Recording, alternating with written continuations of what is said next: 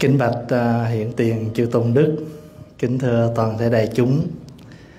Hôm nay là chiều thứ sáu ngày à, uh, 12 tháng 4 năm 2024. Đủ duyên lành, Pháp Hòa được trở về thành phố Houston. Kỳ này chúng ta sinh hoạt tại chùa Viên Thông ở Houston, Texas, Hoa Kỳ. Và đây là ngày uh, tu thứ nhất của khóa tu 4 ngày được tổ chức tại chùa Viên Thông. Và đây là buổi à, pháp thoại thứ ba của Pháp Hòa trong ngày. À, quý vị ngồi trước này là đang à, ngán dữ lắm rồi. Đại chúng à, chiều nay có khỏe không? Tối nay mình à, có một không gian à, thoải mái hơn cho nên đại chúng chúng ta cùng ngồi sinh hoạt. Và nếu pháp hòa nhớ không lầm thì pháp hòa sẽ được gặp quý vị ba đêm tối hôm nay tối ngày mai và tối chủ nhật. Ủa sáng chủ nhật nữa hả? Trời định ăn gian mà không được thôi bỏ.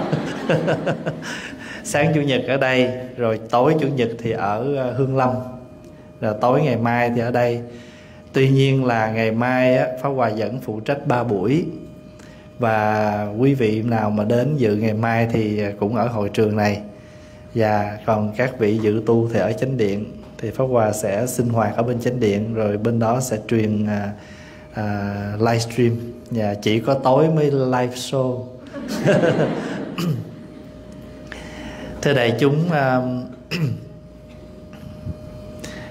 ở trong à, cái bài tụng à, trong cái nghi thức Phật giáo đó trong cái nghi lễ đó thì khi mà mình tụng kinh xong á thì mình sẽ có một cái lời cầu nguyện giống như là mình đem hết tất cả những cái tấm lòng, cái lòng thành mình nãy giờ mình tu tập để mình gửi cho mình một cái ước nguyện nào đó. Thì cái thường cái lời cầu nguyện cuối đó hay gọi là phục nguyện. Phục nguyện có nghĩa là một cái lời cầu nguyện sau cùng.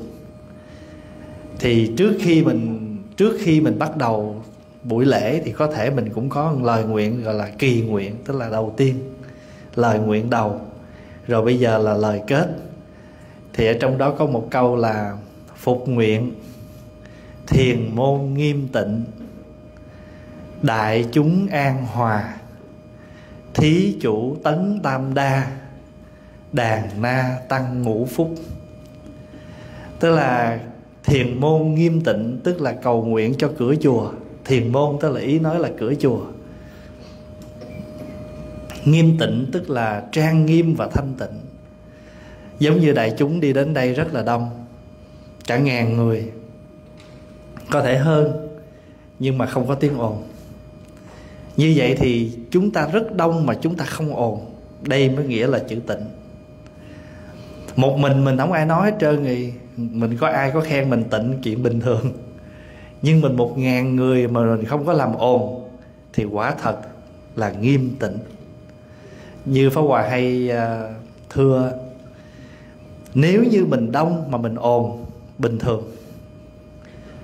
Phải không? Mình đông mình im mình mình mình đông mình ồn là bình thường. Còn nếu như mà mình rất ít người, mình um sùm hết, bất thường. Còn mình rất đông mà không ồn là phi thường. Mình rất đông mà mình không ồn cuộc sống của mình đó, nó nhiều cái trộn rộn lắm. Hết việc này tới việc kia. Có nhiều khi mình nói gặp nhau chúc năm mới bình an vô sự. Nhưng mà thật sự nếu mình vô sự mình chịu nổi không? Không. Vậy thì cuộc sống là phải có sự. Nhưng mà chúng ta lấy cái tâm ứng xử. Cho nên sự sự vô ngại đây là giáo lý của kinh hoa nghiêm.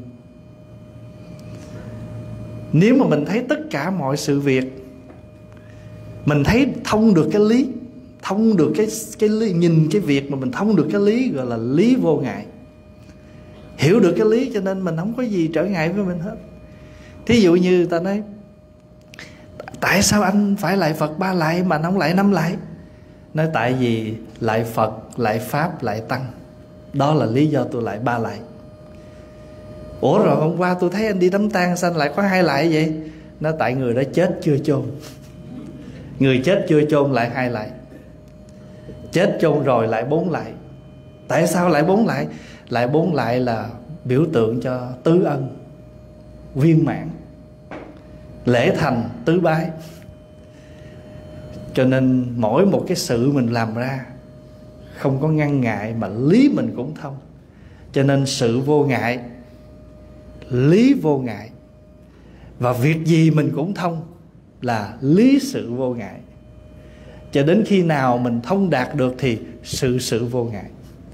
Chứ cuộc sống mà làm gì cũng có sự? Nhiều khi không có sự, mình còn sinh sự nữa kìa. Không ai kiếm chuyện mình mình buồn quá mình kiếm chuyện nữa kìa thật ra nhiều khi vợ chồng lớn tuổi chuyện tình không có mà chuyện gây thì mỗi ngày. Lớn tuổi già rồi không còn chuyện gì mùi để nói nữa. À, bả vừa tắt cái đèn cái mình lại mình mở. Là có chuyện gì đâu. À, tăng sưởi lên cái mình lại mình hạ xuống cái bà lạnh của bà rung nó nói ông muốn tôi chết hả? Rồi cái ông nói bộ bà muốn tôi chết hả? Trời nóng thành tử nội cái sưởi không mà cứ kéo lên kéo xuống có chuyện chứ gì đâu. Phải không? Rồi ăn cái chén xong cái bả rửa rồi bà đi lên lát xuống bà thấy ly sữa cái, con ly sữa mà con không rửa nữa. Cậu nói lại rửa con ly mà nói hoài. Y chang không ta? Ai biểu mở em ở trong bếp làm chi? Cứ chiều đi làm về mở thầy pháp hòa trong bếp, thầy pháp hòa phải biết chuyện nhà của mình thôi. cho nên nhiều khi cuộc sống của mình không có chuyện gì hết thì mình cũng bắt đầu sanh sự. Và nhiều khi mình có tiền của quá, mình không đủ chánh niệm cũng sanh sự. Mà nhiều khi nghèo khổ quá, bí đường quá, sanh sự. Cho nên bởi tôi sanh sự, nên sự tình mới sanh. Nếu không sanh sự sự nào có sanh? Cho nên cuộc sống chúng ta còn sống là còn hoạt động. Sống là hoạt mà hoạt là phải động. Trên nghiêu là hoạt động. Nói theo tiếng việt là sống động. Ví dụ như thế, anh có sinh hoạt không? Bữa nay có đi sinh hoạt không. Là những hoạt động của sự sống. Ăn là sinh hoạt ngủ là sinh hoạt nói chuyện là sinh hoạt tiếp khách là sinh hoạt nấu cơm là sinh hoạt, lái xe là sinh hoạt. Nhưng nếu chúng ta không có chánh niệm, thì sinh hoạt này nó sẽ đem tới nhiều cái khổ lụy. Vậy thì tu tập của chúng ta, tu tập của chúng ta là làm sao chúng ta đủ cái chánh niệm để chúng ta đối xử mà không để nó thành ra trở ngại, gọi là sự sự vô ngại. Giáo lý hoa nghiêm có bốn cái sự vô ngại, lý vô ngại, lý sự vô ngại và sự sự vô ngại. Mà mình đã đi đến cái chỗ sự sự vô ngại rồi thì mình rất là vững. Tại vì mình đến với ai, mình cũng biết cách. Phá Hòa ví dụ như là tiếng Việt Nam của mình, Gặp cái người đó, mình đoán là người đó hơn mình, tuổi Cái mình gọi là chị. Thấy người đó trẻ hơn mình thì mình gọi là em. Còn mình gặp một ông thầy cạo đầu Mặc áo, Không biết ông tu lâu, tu mau. Thôi kệ, Gọi chữ thầy trước đi rồi tính sao Có nhiều khi ông lụm cụm nói Dạ bạch hòa thượng. Ở đây không tôi mới tu hôm qua.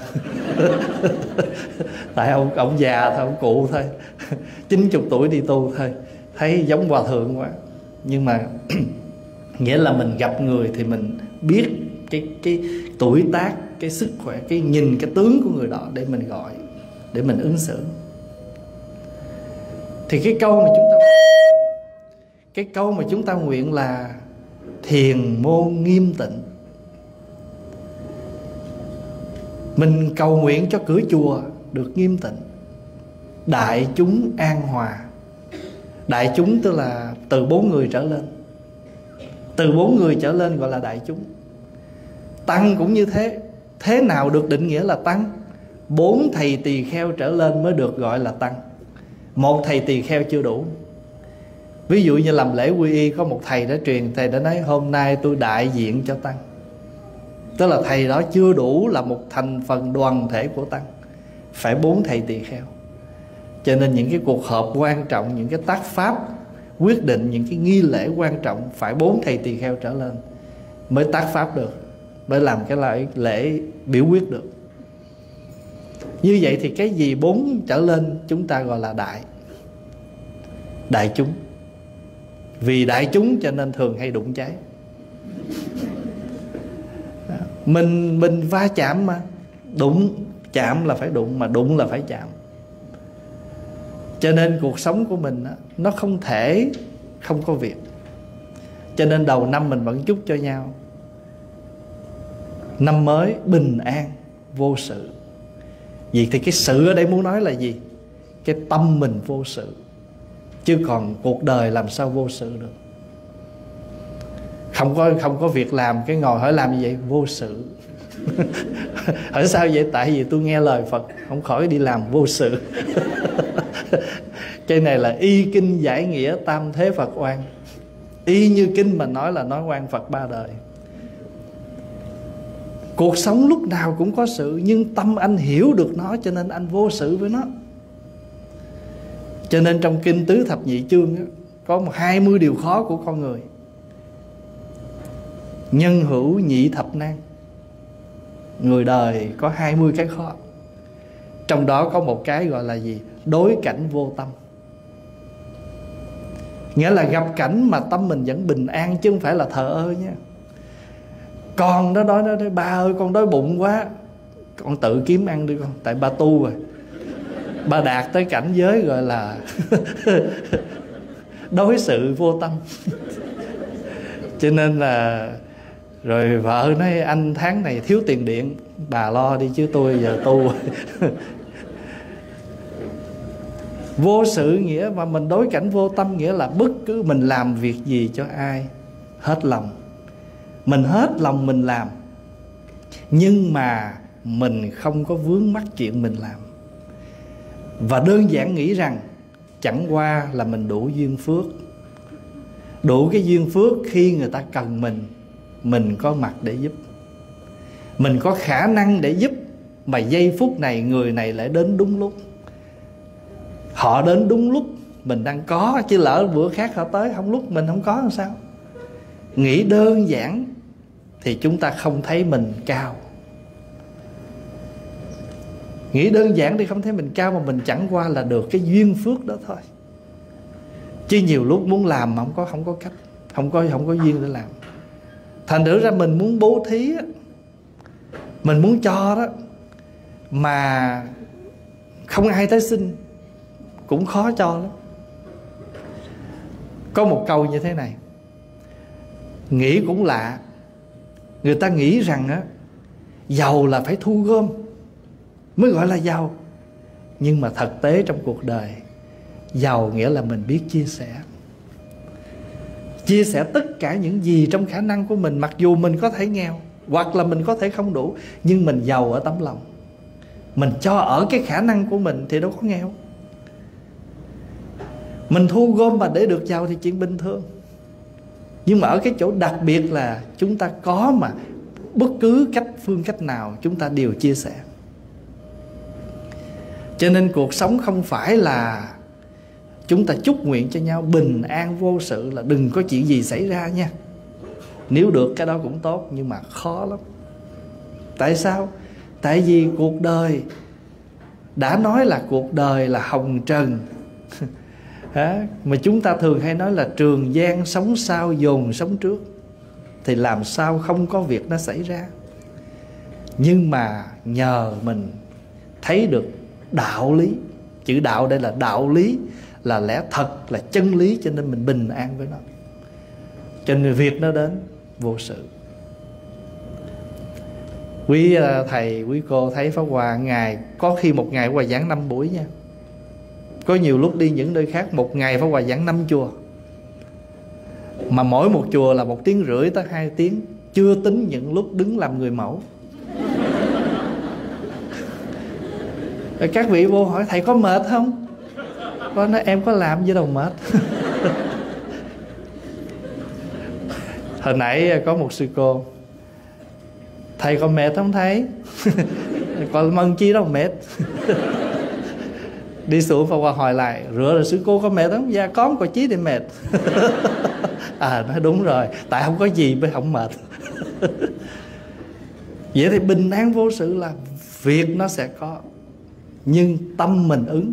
Có nhiều khi cái việc nó một chút nỉ à mà mình xé nó ra to, thành ra mình sanh sự. Xiên nó rất dễ dàng. Thành ra rốt cuộc mình cầu cho mình ban bình an vô sự mà mình thật có bình an đâu nếu mình bình an thì con nó cần ăn cơm, mình cho nó ăn cơm. Mình làm mà không thấy như là một cái chuyện gì ghê gớm, tại chuyện cha cho con ăn cơm là bình thường.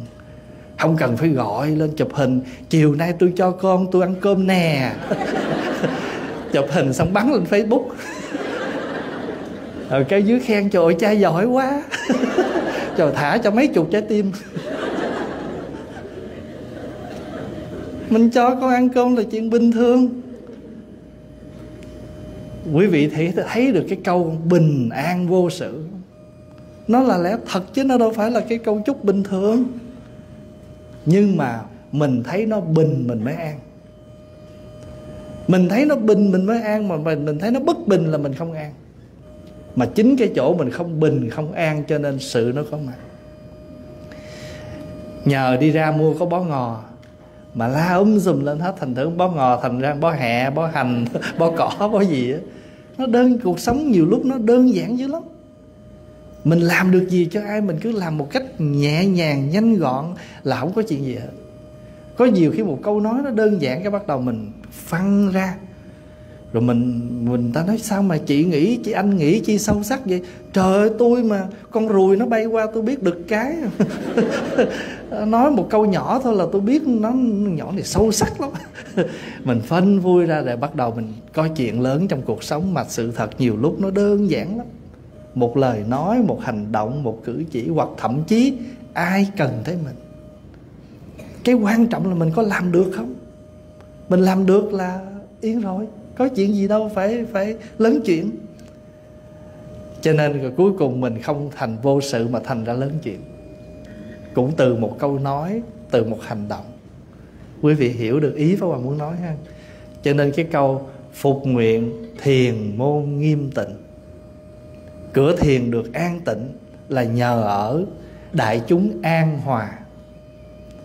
Đại chúng sống hòa thuận với nhau sống an với nhau, sống thuận với nhau thì nhất định cửa thiền sẽ nghiêm tịnh. Vì an hòa là cái nhân tu. Mà thiền môn nghiêm tịnh là cái quả. Mà nhân như vậy thì quả như vậy thôi. Tại vì sao? Vì tăng. Chữ tăng là một đoàn thể. Chữ tăng là một đoàn thể sống hòa hợp, sống thanh tịnh. Nếu mình có hình tướng một người tu, chưa? Cho đó mới tướng tăng thôi. Ăn nhiều là tướng nó tăng. Kêu là tăng tướng. Người ngoài nói, trời ơi đừng có bắt con ăn nhiều ăn nhiều lên cân. Ai biểu lên cân chi? Cây cân ta để để đừng lên. Mình không có lên cân thì chẳng biết mình cân lên. Thiền môn nghiêm tịnh, hải chúng an hòa. Hay là đại chúng an hòa đại chúng sống an, sống hòa, thì nhất định cửa thiền sẽ thanh tịnh. Đó là chuyện của người trong đạo. Còn chuyện người đời, thí chủ tấn tam đa. Tam đa là gì? Nói theo thế gian, đa phúc, đa lộc, đa thọ. Cho nên mình mới có ba ông ba ông phước lộc thọ đó. Ba ông phước lộc thọ đó cái bộ ba đó chúng ta gọi là tam đa. Người hoa gọi cái bộ là bộ tam đa. Đa phúc, đa lộc, đa thọ. Thực tế thì không có ba ông đó. Nhưng mà tại vì người ta, đời sống người ta mong mỏi, có phúc. Có phúc là gì? Có con. Có lộc là có của. Có thọ là có tuổi mình không có tuổi thọ thì của nhiều hưởng đâu. Phải không? Rồi bây giờ mình mà có phước thì mình có con, có hậu duệ, có cái người tiếp nối. Cho nên hồi xưa cha các bậc tiền bối hay quở người trẻ, bất hiếu hữu tam, vô hậu chi đại, bất hiếu có ba có ba thứ loại, ba loại bất hiếu mà không có con nói giỏi là gọi là gì? Cái hiếu bất hiếu lớn. Như người ta, ta nói vậy thôi. Không phải chân lý. Các thầy đi tu không có hậu duệ. Không có nói giỏi cho một gia đình nhưng mà nói giỏi cho phật pháp. Nói giỏi cho ba đời chư phật giống như hồi chiều Pháp Hòa chia sẻ với một em một em trẻ đang có cái tâm trí muốn đi tu vậy đó. Thì tâm trí của người cái người là mình mong mỏi rằng sau mình sẽ có những người tiếp nối. Và đó là cái mà nó luôn ở trong tâm Pháp Hòa. Luôn luôn suy nghĩ làm sao có được những người trẻ để tiếp nối Phật pháp ở hải ngoại. Pháp Hòa chỉ, tại mình biết ở đây thiếu lắm. Ở hải ngoại mình thiếu nhân sự lắm. Phật sự thì quá trời mà nhân sự thì không có. Mà sanh sự thì triền miên. Cuộc sống chúng ta quá nhiều việc. Cho nên, tam đa theo thế gian đã ra phúc. Nhưng mà phúc cũng không hẳn là con. Phúc nhiều thứ lắm có ăn cũng là có phúc. À, có được người thương là có phúc. Mình tu tập mà có người trợ duyên cũng là có phúc. Nhưng mà người ta lấy một biểu tượng là đứa con ẩm trên tay. Cái ông phúc đó ông cầm ẩm đứa con. Rồi ông có ông lộc ông cầm cây ngọc như ý biểu tượng cho tiền của. Còn ông thọ thì ông cầm trái đào. Tại vì trái đào là biểu tượng cho thọ cho bữa nào quý vị đi vô mấy cái tiệm mà người ta bán à, quà cáp cho người th tuổi thọ đó. Nếu mà quý vị thấy á, ông thọ mà cầm trái thọ hay là một trái thọ lớn rồi ở trong có trái thọ nhỏ thì chúng ta biết á, trái đào á trái đào á, mà trái đào to rồi mở ra cái nó có một trái đào nhỏ thì cái đó gọi là thọ trung thọ. Nghĩa là trùng cái tuổi lên chồng cái tuổi lên cho nên mình tặng mấy cái đó người ta thích lắm. Thọ trung thọ, trong thọ có thọ. Rồi ông thọ mà cầm trái thọ là một hình thức thọ. Hỏi sao biết ông thọ? Ông sống đến nỗi đầu nổi cục hết. Râu bạc hết. Con hạt, trái đào là biểu tượng cho tuổi thọ. Cho nên ta nói, năm nay bác được bao nhiêu tuổi hạt? Tuổi hạt, tức là tuổi già. Không? nhưng mà người sống càng lâu thì tuổi hạt càng lớn. Cho nên hòa thượng viện chủ ở bên canada, ngài đặt cái viện dưỡng lão của chùa xây là viện dưỡng lão tuổi hạt. Tuổi hạt là tuổi của người già. Đó là cái ba phút của người thế gian. Và bây giờ ba phút trong đạo là có gì? Thứ nhất là gần bạn lành thứ hai là nghe pháp âm. Thứ ba là quán bất tịnh. Nếu mình được có một cái, mình được một cái cái cơ hội, mình quán các pháp, tạm có chứ không thật. Chữ bất tịnh trong Phật giáo nó có nghĩa là không mãi mãi trường còn. Ngoài cái ý nghĩa là nó không trong sạch những cái nghĩa rộng của nó là không tồn tại. Ví dụ cái hoa này nó đẹp vậy đó. Và với cái nhìn của người phàm phu thì người thường mình đó là hoa đẹp. Cho nên bữa nào nó héo mình hơi buồn. Nhưng mà cái người mà người ta có cái pháp nhãn, cái tuệ nhãn, thiên nhãn ta nhìn đó ta thấy được bạc chất của nó. Chỉ là tạm đẹp chứ không mãi đẹp. Thì trong cuộc sống của chúng ta cũng vậy. Ví dụ ta nói là tôi yêu em hay là anh yêu em gì đó thì được rồi, nhưng mà nếu là mãi mãi thì nó thôi, cất chữ mãi mãi đi. Tại vì trên đời đâu có gì mãi mãi hết á. Đời là vô thường mà sao kêu mãi mãi được? Phải không? Cho nên thương nhau là đủ rồi. Mà thương nhau ngày nào còn sống với nhau, thương hết lòng. Thương từ sáng tới tối. Thương từ ngày cưới cho tới ngày viên mãn, đó là mãi mãi đó. Chứ không phải mãi, tại vì cuộc đời này có gì mãi mãi đâu thử ra cái mà chúng ta biết rằng nếu chúng ta có được một người bạn lành trong đời, người bạn đó có thể là một người vợ, một người chồng, một người bạn đạo, một người bạn thân. Tại vì sao? Tại vì quen nhau đầy khắp trong thiên hạ, tìm kẻ tri âm có mấy người. Mình quen rất nhiều nhưng mà kiếm một người tri kỷ tri âm không phải dễ. Tri kỷ là biết nhau, tri âm là hiểu nhau. Cho nên tìm một người như bá nha tử kỳ thì đâu phải dễ.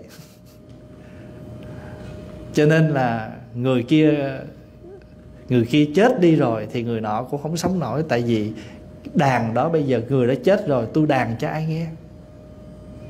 Hình như có một bài thơ đời vắng em rồi vui với ai? Tại vì cái đó là nói lên cái tâm, cái cái người bạn cho nên trong cuộc đời này, nếu chúng ta có được một người bạn lành, đó là một cái điều tốt. Tại vì bạn thì rất nhiều nhưng mà bạn lành. Bạn lành là tại sao? Tại vì người đó có khả năng nhẫn nại mình. Người đó sẵn sàng ngăn cản điều xấu ở nơi mình nếu chúng ta làm điều xấu. Người đó sẵn sàng ngăn mình, sẵn sàng chỉ cho mình những cái lỗi. Vì khổng tử cũng vậy người nào dám chỉ lỗi cho mình, người đó là thầy mình. Người nào mà khen mình mà đúng, mình làm đúng mà người đó khen đúng thì người đó là bạn mình.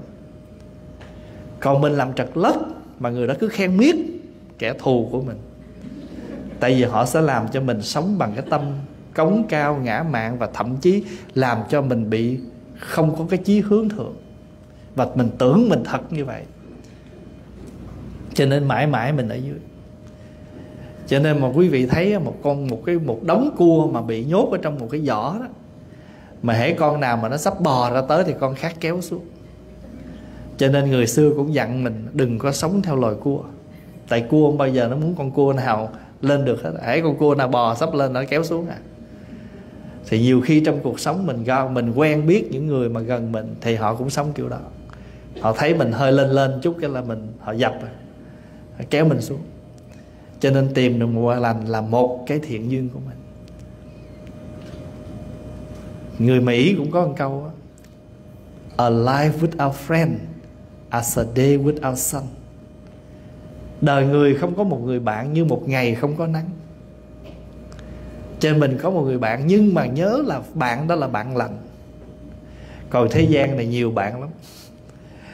À, bạn nhậu bạn đánh bài, bạn đi chơi, bạn đi nhảy đầm, rất nhiều thứ bạn.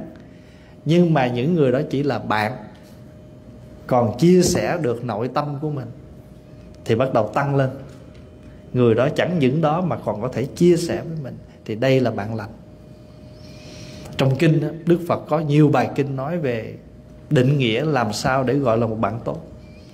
Nhưng mà căn bản nhất, chúng ta có 7 cách để nhìn nhận một người bạn người bạn biết nhẫn nại, biết khuyên lơn, biết ngăn cản mình những làm điều và biết ca, biết nhận diện những cái hay của mình, không ganh tị với mình và chia sẻ được với mình những lúc khó khăn. Thứ hai là mình nghe được pháp. Tại vì thưa đại chúng, trong cuộc đời này, thiên kim dĩ đắc, hảo ngữ nan cầu ngàn vàng dễ có, lời lành khó nghe. Chịu khó đi làm, kiếm ngàn đồng dễ ở. Nhưng mà có thể một tháng đó không nghe được một lời lành nào hết. Tại vì nếu mình không tìm tới người lành, thì làm sao nghe được lời lành? Một tháng đó mình đi kiếm tiền dễ, nhưng mà mình có những người bạn mình giao tiếp, thì mình chỉ nghe chuyện, thế sự, thị phi. Chứ nên có thể mình không nghe được lời lành trừ khi nào mình tìm tới người lành. Cho nên ngàn ngàn vàng dễ có, thiên kim dĩ đắc. Hảo ngữ nan cầu. Mà thường thì trung ngôn nghịch nhĩ, lời lành khó nghe. Nhưng mà rồi chúng ta lại có câu, thuốc đắng thì giả tận khổ dược lợi ư bệnh. Thuốc đắng giả tật lời mà, lời lành thì thường hay giúp cho mình tăng trưởng. Cho nên gần bạn lành như đi trong sương, không có thấy ướt như một trận mưa, nhưng mà điên đổi rồi thì lại thấy áo mình bắt đầu thấm. Như vụ lộ trung hành, tuy bất thấp y, thời thời hữu nhuận, như đi trong sương vậy đó. Không có thấy nó thấm mưa vào áo mình, nhưng mà sau lát cảm thấy lạnh là bởi vì xương nó thấm trong người. Mình gần những cái điều thiện, điều lành. Bằng chứng nè hồi Việt Nam mình mới qua mấy chục năm trước là ghiền phim tàu. Cho nên đi đâu gặp nhau cũng nghe nói chuyện giống giống phim tàu vậy. chị từ từ đi, không tiễn nghe. Mấy câu đó trong phim tàu không? Đúng tới cái thiện tai thiện tai, ý trời. Đó nhiễm phim tàu nào mình đâu hay. Tại mình coi nó nhiễm. Gần gì, gần nhiễm đó. Ác tập, ác giả. Gần lành thì nhiễm cái lành, mà gần xấu, nhiễm cái xấu. Cho nên nghe được pháp, là pháp này là gì? Là chân lý. Chân lý là lẽ thật, mà cái chân lý khó nghe. Phá Hòa ví dụ như là có nhiều khi mình Phật tử vậy chứ sợ chết lắm. Sợ lắm. Ai mà nhắc chữ chết chết, ngán lắm, không dám nghe. Thậm chí ờ, không dám đi đám tang. Đi lên chùa không dám vô bằng linh. Sợ nghe mấy cái đó lắm.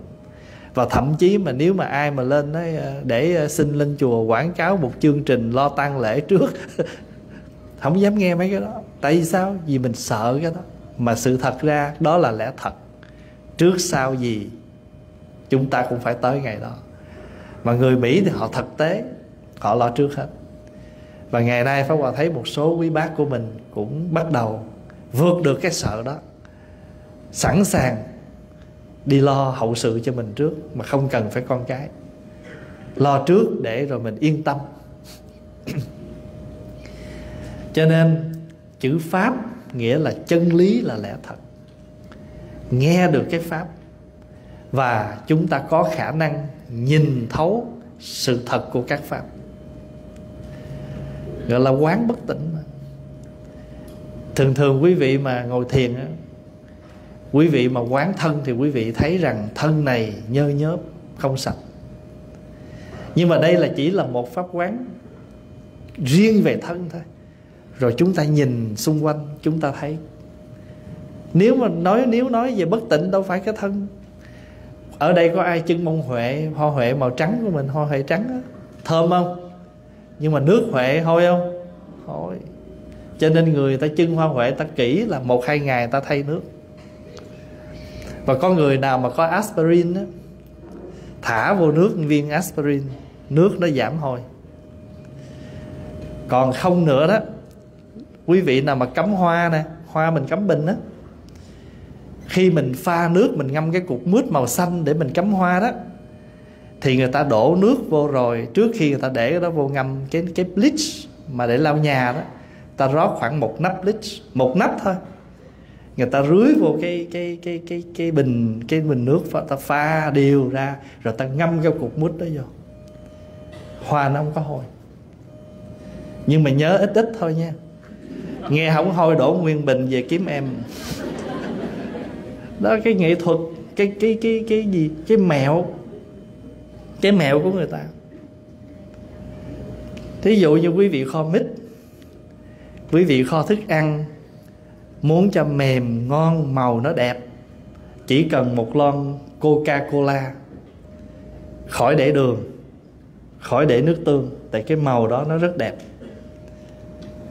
Nhất là kho chay kho thức ăn chay, kho mấy cái rau củ, kho mít, kho bằng một lon rút bia hoặc là một lon coca thức ăn rất ngon. Nếu mình không có nước dừa nước dừa tươi. Hoặc là nếu quý vị kho bằng nước dừa tươi thì tự nước dừa tươi sẽ làm cho cái món ăn nó đẹp đẹp màu ngọt dịu mà ngon. Méo thôi.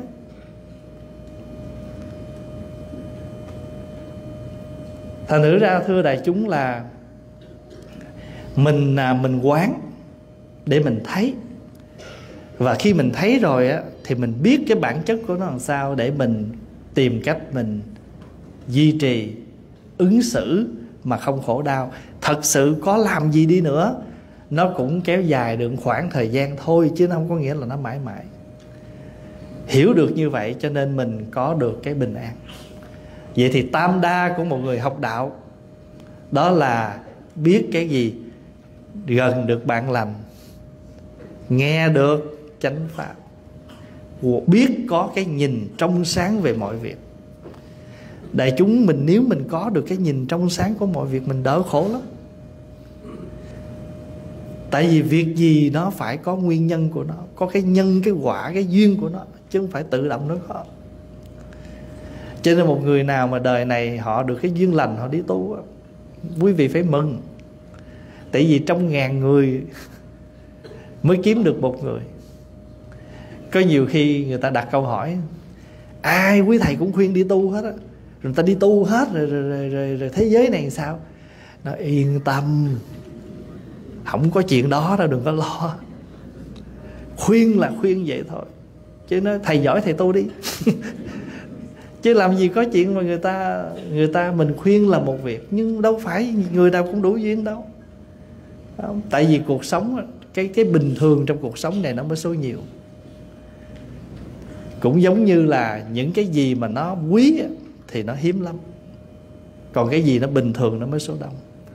Cũng giống như mình ăn cơm, mỗi ngày cơm thường, cơm cơm cơm hàng ngày là thường chứ, tiệc thì lâu lâu, thế làm gì có tiệc mỗi ngày? Đó là cái tam đa đầu. Có một cái tam đa khác là chúng ta thường được cung hiến cho mọi người. Thí dụ như mình giúp được ai cũng là một cái phước, hạnh phước của mình. Ngoài chuyện cúng dường, phật pháp tăng tam bảo, chúng ta còn có cơ hội giúp đỡ cho mọi người trong khả năng của mình. Đó là một cái hạnh phúc của mình. Cái đó cũng là đa đó. Nhưng mà không phải này đa sự. Nhưng mà đa phật sự, đa thiện sự, chứ không phải đa ác sự. Chữ đa là nhiều nhưng mà nếu chúng ta không có chánh niệm thì cái đa của chúng ta cũng nhiều đó. Nhưng mà cái nhiều này chúng ta nhiều cái cái sự mà nó không có lành mạnh. Cho nên người tu á, rất nhiều việc. Nhưng mà việc nào của người tu cũng là việc giúp đời độ người. Cho nên không thấy khó khăn.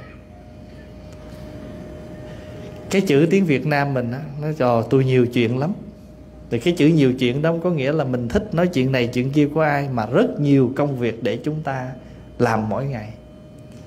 Cho nên được được mà cúng dường Phật cũng là một cái cái hạnh phúc. Và kế nữa là gì? Chúng ta có đủ khả năng để thỉnh hỏi pháp. Thí dụ như trong cuộc sống trong Phật pháp người ta chia ra ba thời kỳ. Chánh pháp, tượng pháp mạt pháp. Vậy thì thế nào được định nghĩa là chánh pháp? Chánh pháp là khi nào, hồi xưa ta định nghĩa chánh pháp là gì? Là thiền định kiên cố.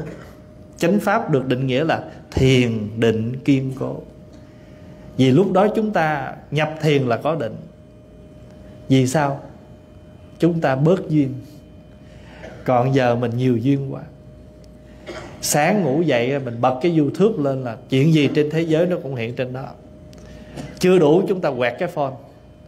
Cho nên chuyện của thế giới này mỗi ngày nắm trong tay mình hết. Rồi bây giờ chỉ cần một chuyện của một thế giới mình bàn chừng 5 phút thôi. 5 phút 10 phút thôi, chừng 10 chuyện thôi là mình mất bao nhiêu giờ của một ngày. Cho nên mình không có sao hết. Chẳng qua là mình có nhiều việc để bàn thì chúng ta mất thời giờ nhiều hơn thôi. Còn người tu tập biết cái nào cần thiết bàn. Giống như mình coi biết vậy thôi. Không có bàn, tại vì không có thời gian.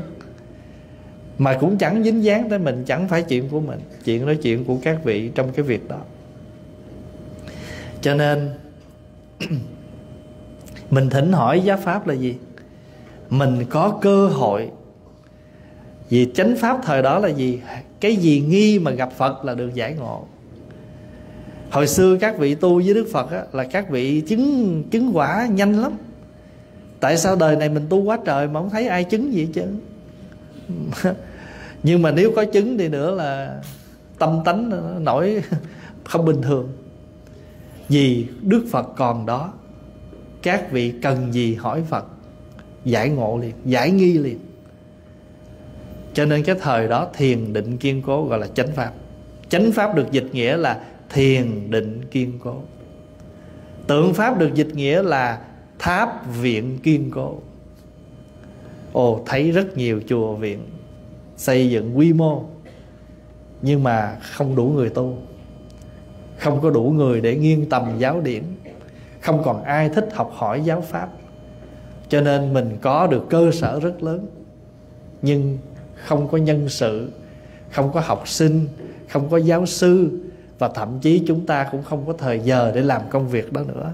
Thì bắt đầu về sau, mình chỉ thấy nó kiên cố ở mặt hình thức thôi. Hồi xưa ta có một cái hộp, một cái sâu chuỗi một cái sâu chuỗi bình thường hộp sen, hộp gỗ gì ta lần suốt còn giờ, trời ơi, chuỗi ngọc, chuỗi mắt tre, đủ thứ các chuỗi hết. Nó nội cái chuyện đó thôi. Cái gì mình cũng nhiều hết á cái gì mình cũng nhiều mà mình nhiều cái gì? Mình nhiều cái sắc tướng. Nhưng mà mình thiếu đi cái nội dung. Cho nên mình muốn bày những cái hình tướng được. Nhưng ráng làm sao chúng ta có được cái nội dung. Thí dụ như đại lễ phật đản. Đại lễ phật đản là cái ngày lễ sinh nhật của đức phật. Thì nếu mà cái ngày đó ngoài tất cả mọi chương trình lễ hội chúng ta tổ chức thì chúng ta làm sao có được một bài giảng cho các phật tử về dự lễ phật đản được nghe kinh thính pháp? Ít nhất người phật tử phải hiểu tại sao đức phật đi đi đi bảy bước như lịch sử kể. Tại sao đức phật chỉ một tay trên trời, tay xuống đất và cái câu nói của phật có nghĩa là gì? Rồi mình lấy tại sao mình phải lấy nước mình tắm phật? Đó, mấy cái chuyện đó mình phải giải. Nói năm ngoái giảng rồi. Và hỏi lại coi 5 phút sau không nhớ gì đâu. Giảng nữa. Tưới hoài. Người nào mà đã nhớ, càng nhớ thêm. Người nào nghe rồi mà không nhớ, Có cơ hội mình nói tiếp. Cho nên trong thính chúng có ba dạng.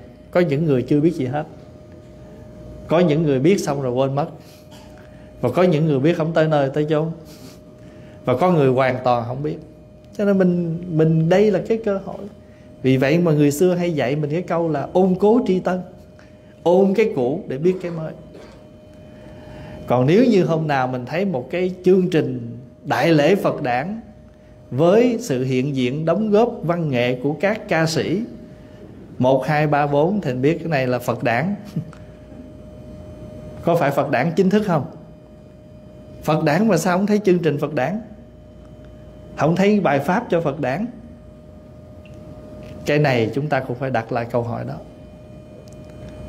Cho nên đại lễ vu lan, phật đản, lễ bồ tát quan âm, nếu nói về đức bồ tát quan âm, biết bao nhiêu chuyện để nói. Mà xin thưa là giáo lý, nghĩa là chúng ta diễn đạt chân lý. Và ai cũng cần nghe chân lý mà nghe thì không phải một ngày, một bữa mà các thị viên nhớ được. Cho nên cứ mỗi lần lễ phải nhắc. Lễ phật thành đạo, nói về ý nghĩa lễ phật thành đạo, mình được tổ chức tất cả các thể văn nghệ theo tinh thần của phật giáo. Những cái chương trình văn nghệ lành mạnh, nhưng không quên có một buổi giảng, có một buổi sinh hoạt về ý nghĩa của cái ngày lễ đó. Như vậy thì chúng ta mới không có mất đi cái ý nghĩa chúng ta làm một cái tiêu đề. Kính mừng đại lễ phật đản. Chùa gì đó long trọng tổ chức kỷ niệm ngày đức phật đản sinh lần thứ bao nhiêu. Và nếu như nó chỉ xuông đuột là với sự góp mặt của các ca sĩ nào đó, thì cái lễ này, lễ phật đản này mình kêu gọi phật tử về để nghe văn nghệ, để coi văn nghệ. Còn cái lễ phật chỉ là phụ thôi uổng quá. Cái việc đó chúng ta cho nên người phật tử ví dụ lỡ mà tới cái mùa phật đản đó quý vị không nghe được bài giảng nào hết thì cũng chịu khó lên youtube mở lại kiếm bài giảng của ai? Tự mình. Tự mình phải đi tìm một bài giảng. À, tôi bữa hôm tôi nhớ thầy có giảng cái bài ý nghĩa bảy bước sen của đức phật. Năm nay lễ phật đản nghe lại tại tôi quên rồi rồi tôi nghe lại cô thầy giảng cái câu thiên thượng, thiên hạ, duy ngã, độc tôn nghĩa là gì? Thì nếu không có trường hợp đó, thì bây giờ cũng ở trên trên youtube rồi. Tất cả quý tôn đức giảng nhiều bài giảng đó, mình cứ đi tìm để mình nghe. Để chi? Để mình duy trì chánh pháp ở nơi mình. Để mình làm cho phật pháp không có mạt pháp phật không có mạt nhưng mà tại vì chúng ta không có sử dụng nó thành thử nó ở trong tủ thôi. Cũng giống như quý vị, kinh gì cũng xin thỉnh cuốn hết đó. về để đầy tủ chứ có bao giờ mở ra coi đâu. Cho nên rồi, chuỗi, thấy ai có chuỗi cũng xin. Chuỗi ngắn, chuỗi dài, chuỗi 18 chuỗi 21 đủ kiểu chuỗi mở ra một tủ chuỗi vậy đó. Mà là mình riết là biến chuỗi như trang sức vậy mặc bồ xanh, đeo chuỗi xanh. Mặc màu đỏ, mang chuỗi đỏ. Thành thử ra chuỗi thành ra trang sức. Không có sao, không có tội lỗi gì đó nhưng mà nếu mình cầm cái sâu chuỗi đó mà mình chạm vào sâu chuỗi đó, mình lần được nữa cái, nó làm trọn cái ý nghĩa hơn. Thay vì bây giờ mà hồi xưa giờ mình chỉ đeo chuỗi thôi. Bây giờ lột chuỗi ra, lần chuỗi nữa thì đeo lần luôn. Mình lần chuỗi mình đeo chuỗi, chứ không phải chuỗi chỉ để đeo, chuỗi cũng để lần. Mình lần chuỗi nữa, thì cái sự mình đeo chuỗi đó nó trọn vẹn, chứ có gì đâu. Pháp Hòa nói vậy không có nghĩa là mình đeo chuỗi là mình tội, Không có. Nhưng mà mình đeo chuỗi và mình dùng được chuỗi Thì sâu chuỗi này nó không đến nỗi quá Ư là nhạt nhẽo chỉ để trang sức cho mình, Mà nó còn là phương tiện định tâm. Nhiều lúc Pháp Hòa cho mấy đứa nhỏ sâu chuỗi Nè nè, What I'm going to do with this? Tôi làm gì với sâu chuỗi này đây? Thì nó hỏi một câu này là mình có cớ để mình nói rồi gì? Ồ, Pháp Hòa không có nên niệm Phật nha. Con đeo sâu chuỗi này, Khi nào trong lòng con thấy bất an, Con đang nóng giận, Thì con tìm chỗ yên lắng. Con hít một hơi vô. Một hơi ra con bấm một hộp. Tại vì khi mà nó đang lên cơn nóng giận á, Là lửa nó đang phừng phừng. Mà mình biểu nó niệm phật, nó biết cái gì mà niệm. Kêu nó ngồi thở. Nó trở về với hơi thở thì hơi thở giúp cho nó định tâm. Mà nó lấy sâu chuỗi, nó làm một phương tiện để giữ nó. Và phải dặn thêm câu, nhớ đi tìm chỗ vắng vẻ ngồi chứ nếu mà không dặn nó kỹ, nó ngồi ngay cái người làm mà nó bực á. Người đó cứ lãng giảng. Nói hồi nó đeo chuỗi vô nó nó thôi, khỏi đeo, khỏi lần gì nữa. Nó giải quyết cho xong. Kiếm chỗ. Khoan cánh. Cho nên tại sao chúng ta có ý nguyện vãng sanh? Vãng sanh là gì mà phải đi đi? Chữ vãng là đi tới. Chữ sanh là một đời sống vậy thì chúng ta ai cũng ước nguyện được vãng sanh, nghĩa là từ một cái cõi sống khổ. Mình muốn đi qua cái chỗ sống tốt. Vậy đợi, có cần đợi chết mới đi không? Có phải nhiều khi mình ở chỗ nào khổ quá muốn đi chỗ tốt không? Chỗ nào chật quá để muốn đi chỗ rộng. Thậm chí ngồi nghe giảng mà chỗ này không thấy được, thầy, tôi kiếm chỗ khác tôi ngồi. À, mình đọc kinh mà chỗ đó tối không thấy được kinh thì mình phải tìm chỗ sáng. Tự mình, trong lòng mình ai cũng có một ý niệm vãng sanh, nghĩa là mong muốn vãng sanh, nghĩa là đi tới một cảnh sống tốt. Rất thật mà. Chuyện đó rất thật. Nhưng anh muốn vãng sanh thì anh hãy đi tìm cho anh một hoàn cảnh để vãng sanh. Một điều kiện để vãng sanh. Cho nên ai cũng muốn vãng sanh hết. Tốt. Sắp hết giờ đèn mới mở. Sắp vãng sanh rồi đó. Hay là biểu tắt mở mở đèn, biểu hết giờ.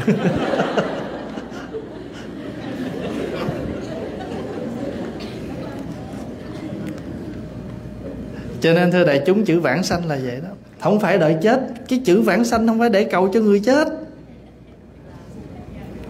Chữ vãng sanh không phải để dành riêng cho người chết, mà là một ý nguyện, một cái ao ước sống từ một cái cảnh khổ đi qua tới cảnh đẹp từ cái chỗ khổ đau tới chỗ an lạc, từ cái chỗ khó khăn đến chỗ dễ dàng. Hồi nãy con nóng với quá trời luôn.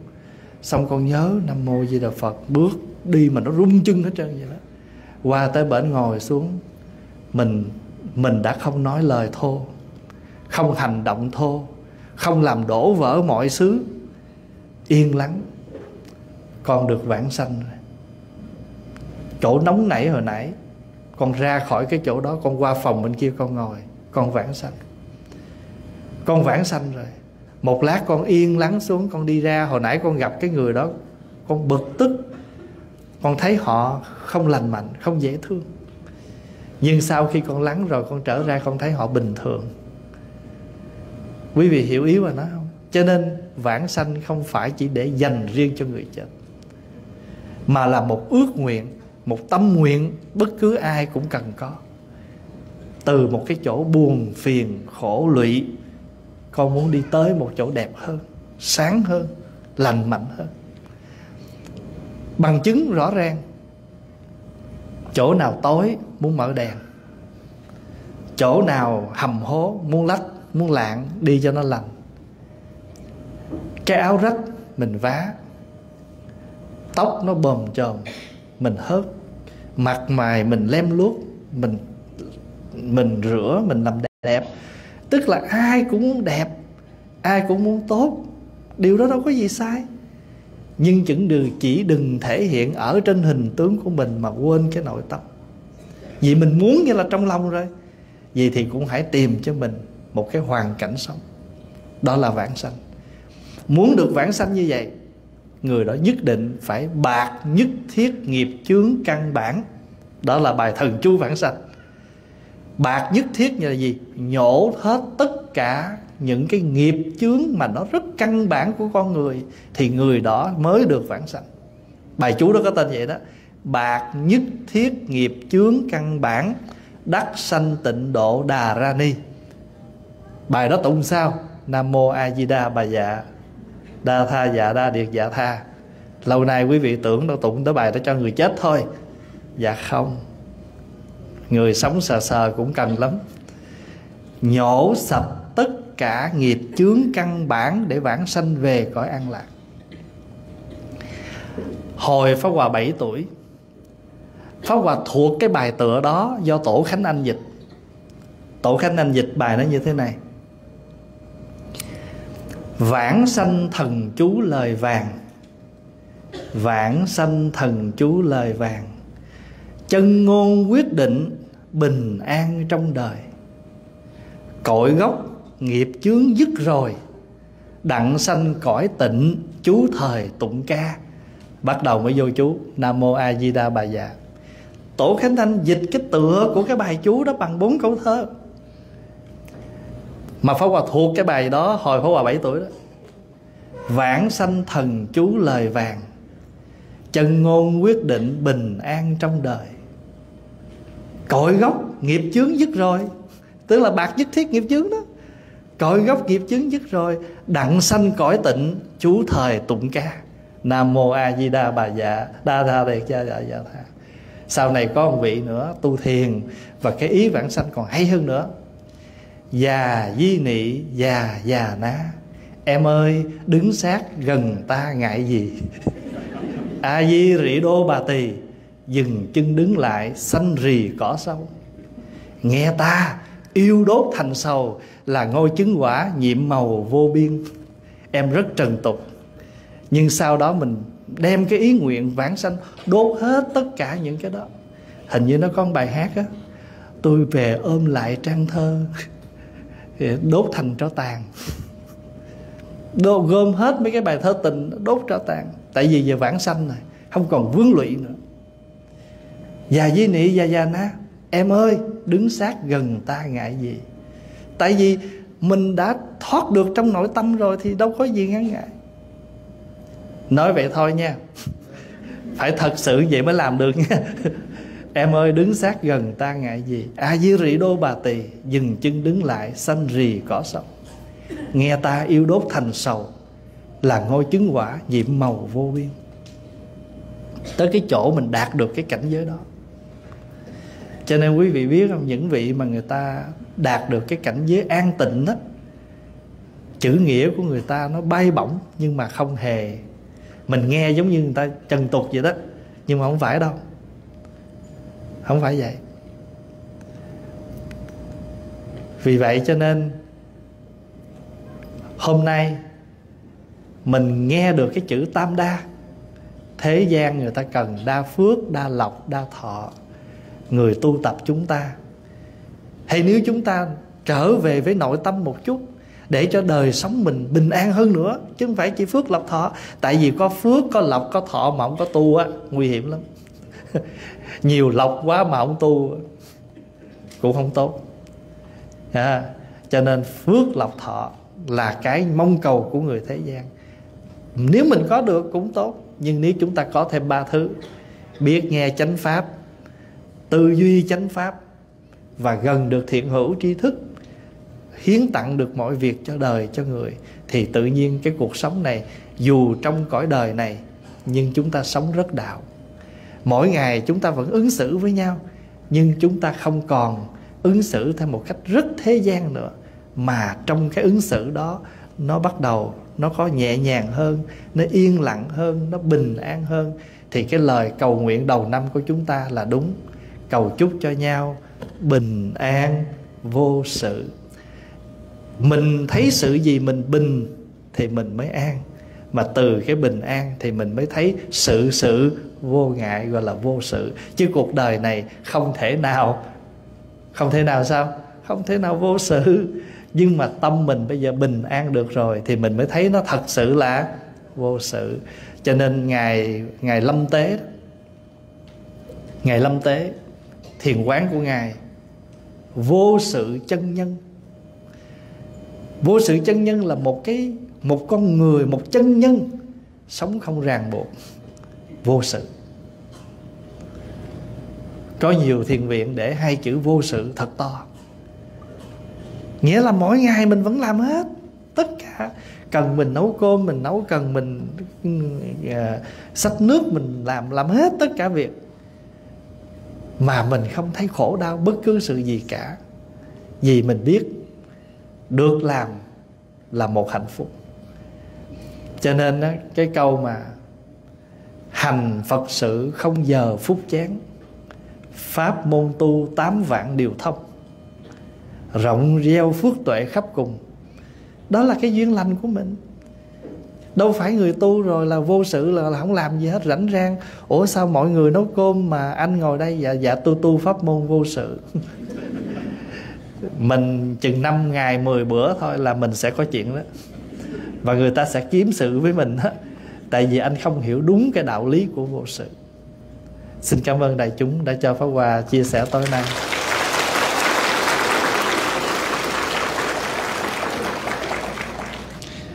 Sau vài tháng con nghe pháp thoại của thầy giảng trên youtube, con đã hiểu nhiều về đạo phật và cách sống. Con rất quý thầy nên khi thầy tới houston là con bay từ arizona qua đây chỉ được gặp thầy ngoài đời con chỉ có một tâm nguyện là gia đình, con được chụp một tấm hình kỷ niệm với thầy.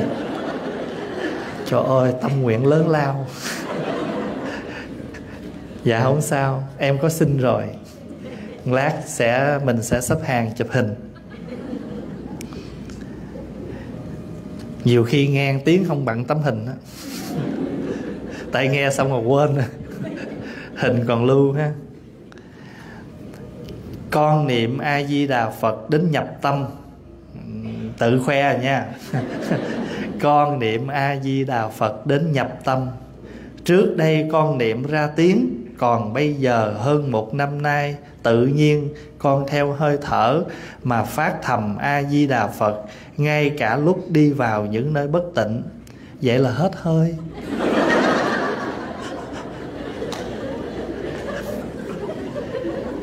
Như vị, như vậy có bị tội bất kính hay không? Dạ không. Niệm phật có 48 pháp và 12 cách. Mình niệm trong tâm thì gọi là quán tướng niệm phật. Mình niệm thì thào, hiểu không? Gọi là hơi thở niệm phật. Mình niệm với hơi thở thôi. Hít vô, a di thở ra đà phật. Hít vô a di, thở ra đà phật. Chân trái a di, chân phải đà phật. Cái này gọi là sổ tức niệm phật. Lần chuỗi, thay vì mình niệm a di đà phật, a di đà phật, a di đà phật. Bây giờ mình niệm năm câu. A di đà phật, a di đà phật, a di đà phật, a di đà phật, a di đà phật năm câu một chuỗi gọi là sổ châu niệm phật. Mình niệm nam mô di đà phật một hộp, nam mô di đà phật một hộp cũng được, hoặc là ba câu một hộp. Thì mình niệm được 10 hộp là ba chục câu. Tại vì mình niệm ba câu để chi? Nhiếp tâm, để tâm mình nhiếp lại. A di đà phật một, a di đà phật hai, a di đà phật ba. Đó là một hình thức nhiếp tâm. Và niệm phật tùy theo sức khỏe tùy theo khả năng. Thí dụ, ban ngày ở trong phòng một mình mình niệm, ra tiếng cũng được, trì danh. A di đà phật, nam mô di đà phật, nam mô di đà phật. Nhưng mà tối rồi, ngủ không được, niệm thầm thôi. Đừng có a di đà phật hoài, người khác không ngủ được. Người ta sẽ ngồi dậy nó nói, a di đà phật, con lại má má đi ngủ giùm con. Rồi mình niệm phật đến nỗi ta lại mình ta kêu mình đi ngủ luôn. thành thử ra được hết chứ có sao. Mình rất là biết cách niệm phật. Khi nào ở nhà một mình, có thậm chí mình đi hộ niệm trong một đạo tràng rất cần cái giọng, thì lúc đó quý vị cứ cao thanh niệm phật. Cao thanh là niệm lớn tiếng á. Nhưng mà người ta hấp hối. Ở trong bệnh viện đừng niệm kiểu đó. Niệm kiểu đó hỏi, làm gì đây? Hối đi gấp tại niệm lớn quá ta chịu không nổi ta đi gấp thôi. Vô trong bệnh viện niệm phật, niệm vừa chừng và thậm chí niệm vừa nhỏ thôi, đừng có làm động những người xung quanh. Tại vì lúc đó, nó cần cái năng lực của mình giao cảm với người mất, chứ không phải qua âm thanh nữa. Cho nên chuông mỏ lúc đó không cần. Nhang đèn hình phật. Nếu có hình phật có thể, thì cầm cho cái người đó nhìn thôi để người ta có cái tướng phật người ta dựa theo đó thôi. Mà cái quan trọng là cái thành tâm mà chúng ta niệm cái âm thanh vừa chừng. Tại lúc người sắp mất người ta rất là à, rất là bồi hồi rất là hoảng sợ. Và chúng ta định cho họ một cái con đường bằng cách là chúng ta thanh tịnh niệm phật. Cho nên à, vị phật tử đây hồi trước niệm ra tiếng bây giờ tự nhiên hết niệm ra tiếng mà niệm theo hơi thở. Mà thậm chí đi đứng nằm ngồi đều niệm. Hỏi niệm phật trong nhà vệ sinh được không? Được. Nhưng mà đừng có niệm ra tiếng thôi. Chẳng lẽ ngồi trong a di đà ở ngoài này nó biết chuyện gì trong được.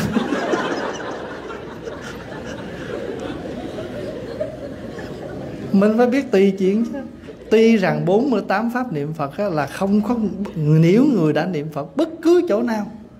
Ở trong nhà vệ sinh ở trong uh, bệnh viện ở nhà ngủ đất cứ chỗ nào. Nhưng mình phải biết chỗ để mình ứng cái âm thanh. Ứng cái âm thanh. Cũng giống như uh, vừa rồi có một phật tử hỏi phú Hòa chứ thầy ơi con ghiền nghe pháp của thầy dữ lắm. Con lên xe con cũng mở bất cứ chỗ nào con cũng mở vậy vô toilet con mở luôn được không? Pháp Hòa nói thật ra muốn mở đâu em cũng không có biết. Nhưng mà thôi tha cho em. Tin đâu có cả, nếu mà vô trong đó mà niệm xong rồi ra chứng đạo liền á. Ok được. Nếu mà niệm xong rồi ra chứng đạo liền cũng được nữa mà còn niệm vẫn bình thường thôi khỏi đi tha cho em chỗ đó đi. đâu phải mình cầm cái máy vô vậy mình mới gọi là thành tâm nghe pháp đâu không? Nghe cũng có nơi, có chỗ thôi. Thật ra vô cũng chẳng tội lỗi gì cả, nhưng mà nó không cần thiết. Nó không cần thiết đến mức độ ghiền như vậy phải không? Thật ra ghiền gì cũng khổ, ngay cả ghiền tu. Ghiền tu mà không biết cách ghiền cũng khổ. Người người nhà của mình mình tu mình khổ đã đành đúng không? Người nhà mình cũng khổ theo cái ghiền của mình nữa tụng kinh niệm phật, sử dụng chuông mở mở pháp lên nghe, phải biết giờ nào mở lớn, giờ nào nên nhét ống nghe. Và thậm chí giờ nào tắt luôn đừng nghe. Tại có nhiều khi mặc dù mình mở nhỏ nhỏ, nhưng nó vẫn là cái tiếng làm cho người khác khó ngủ, khó nghe. Đừng làm vậy. Mình mở pháp đâu không thấy, nhưng mà người kia thấy cái pháp này không thiện rồi không? Thành thử ra, trừ khi nào người đó ok, người đó bằng lòng thì thôi tùy nhưng mình biết được người ta chưa thoải mái thì đừng làm. Cái việc, cái sống của chúng ta là chúng ta sống phật, chúng ta học phật. Quý vị nhớ hai chữ mà nói ha, phật học với học phật học giáo lý thì gọi là phật học. Nhưng mà học cách sống theo giáo lý gọi là học phật. Thành nữa là mình học giáo lý, nhưng mỗi tuần mình đi nghe làm phật học thôi. Biết ờ, tứ đế là gì, tam bảo là chi, tứ nhiếp pháp là gì, tứ tất đàn là gì, nói ro ro hết. Đó là mình mới có phật học thôi. Nhưng mà làm sao cuộc sống của mình nó thể hiện được cái học phật? Nghĩa là học cách sống của phật, học được làm phật. Câu hỏi cuối ha. Con 9 tuổi kính thưa thầy, bạn hay nói xấu con thầy giúp giùm con. Con phải thái độ như thế nào? Rồi bạn con. Với bạn con à học viết không có dấu. Nhưng mà em này mới 9 tuổi thôi. Bạn con nói xấu con. Nhưng mà con không có xấu, thì con không có xấu người ta chỉ nhìn con ở một góc này, người ta thấy xấu mà con thật không có xấu. Nhưng nếu con giận tức lên, con cung tay, con trợn mắt thì này xấu thiệt à. Người ta nói con xấu nhưng mà con vẫn bình thản thì con mãi đẹp. Đẹp một cách rất bình thường. Còn nếu con giận tức lên, con nghiến răng, con trợn mắt, con phiền não lấy cái người đó, thì người ta sẽ chỉ liền đó, thấy không? Tôi nói xấu là xấu thiệt mà thầy có một cái bài thơ tặng cho con ha. Ai nói mình hay dở, ta khoan vội trách hờn. Khen chê là bài học, cho mình sống tốt hơn.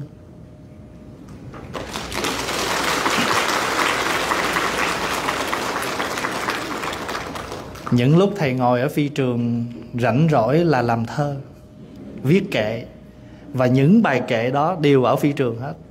Đều làm trong khi ngồi phi trường hết.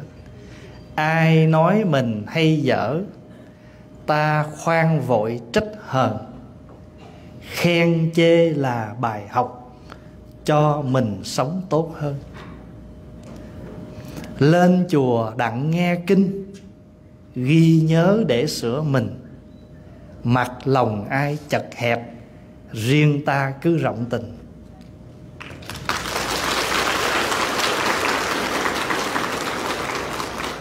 Hãy bước đi thông dong nhẹ việc sẽ nhẹ lòng. Hãy bước đi thông dong nhẹ việc sẽ nhẹ lòng. Mỗi bước về thanh thản, đón đất trời mênh mông.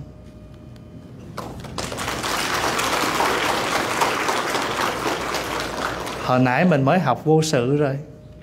Người ta sanh sự, nhưng mình nghe xong mình vô sự tại vì không dính gì tới mình hết. Không dính gì tới mình hết. Kiến sắc, phi can sắc, văn thanh, bất thị thanh. Thấy sắc mà sắc không vướng vô mắt mình. Nghe âm thanh mà âm thanh không làm khổ mình, gọi là kiến sắc, phi can sắc. Văn thanh, bất thị thanh. Đến khi nào mình đạt tới cái chỗ là thấy, nghe không chướng ngại, gọi là kiến văn vô quái ngại thị thị đáo pháp vương thành, đến được thành trì của phật. Thị phi trung nhật hữu, bất thính tự nhiên vô. Đó là hai câu chữ âm hán vào dịch ra tiếng việt đây. Chuyện tốt xấu, ngày nào cũng có. Nghe hay không, tùy ở mỗi người. Biết nghe, miệng mỉm cười tươi. Không biết lòng dạ tơi bời khổ đau.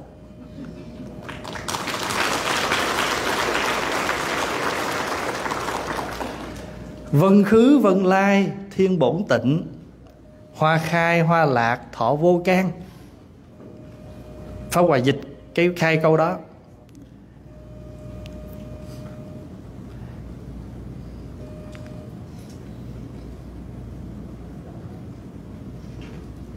Cái câu đó pháp hòa dịch là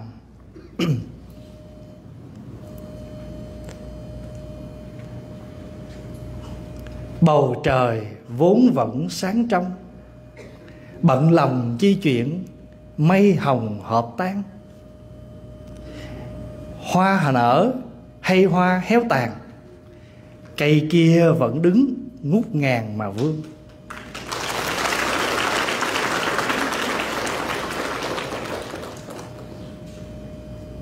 Vân khứ là mây bay, vân lai là mây tới.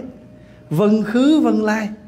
Nhưng mà bầu trời vẫn vẫn trong sáng vậy thôi. Chẳng qua là nó bay qua bay lại thì mình thấy nó nó mù mịt vậy thôi. Vân khứ, vân lai, thiên bổn tịnh. Trời nó vẫn vốn nó như vậy đó. Hoa khai là hoa nở, hoa lạc là hoa rụng. Nhưng mà có dính dáng gì tới cái cây? Cái cây nó vẫn đâu có bị héo mòn theo cái hoa nở, hoa tàn gì đâu thì mình mới dịch hai câu đó bằng tiếng việt. Bầu trời vốn vẫn sáng trong, bận lòng chi chuyện mây hồng hợp tan. Hoa nở hay hoa héo tàn, cây kia vẫn đứng ngút ngàn mà vương. Cảm ơn câu hỏi của con. Nhờ vậy thầy mới có chuyện kết thúc cảm ơn đại chúng rất nhiều đã cho pháp quà tối hôm nay được thăm và chia sẻ với đại chúng. Mong đại chúng ngủ ngon và ngày mai đủ duyên chúng ta sẽ gặp nữa. Gặp đến khi nào quý vị chán.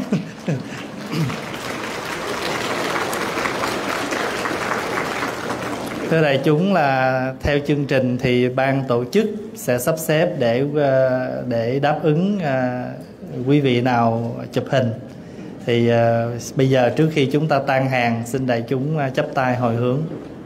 Đại chúng trưa nay có khỏe không? Hồi nãy uh, lại sám pháp địa xúc được mấy lại? Thưa đại chúng uh, khi mình uh, tu tập á, thì ai cũng sẽ khuyến khích mình phải phát tâm bồ đề. Một vị sa di một người muốn đi xuất gia thì khi vào trong chùa xin đi tu á thì à, vị thầy sẽ khuyến khích mình nên đọc cái bản văn phát bồ đề tâm văn của ngài thật hiền. Ngài thật hiền là vị tổ thứ 13 nếu tính theo tông tịnh độ. À, xin lỗi à, à, tổ thứ mấy Pháp Hòa quên rồi nhưng mà không phải là tổ thứ 13 nhưng mà ngài là một trong 13 vị tổ của tịnh độ tâm ở Trung Hoa người ta thành lập tông phái niệm Phật cầu vãng sanh. Và các vị đã tôn vinh 13 vị hòa thượng à, như là 13 vị tổ của pháp môn tịnh độ đó và hình như ngài thật hiền là ngài thật hiền là một trong 13 vị đó. Và cái vị tổ đầu tiên của tịnh độ tông là ngài huệ viễn ở núi lô. Rồi à, ngài à,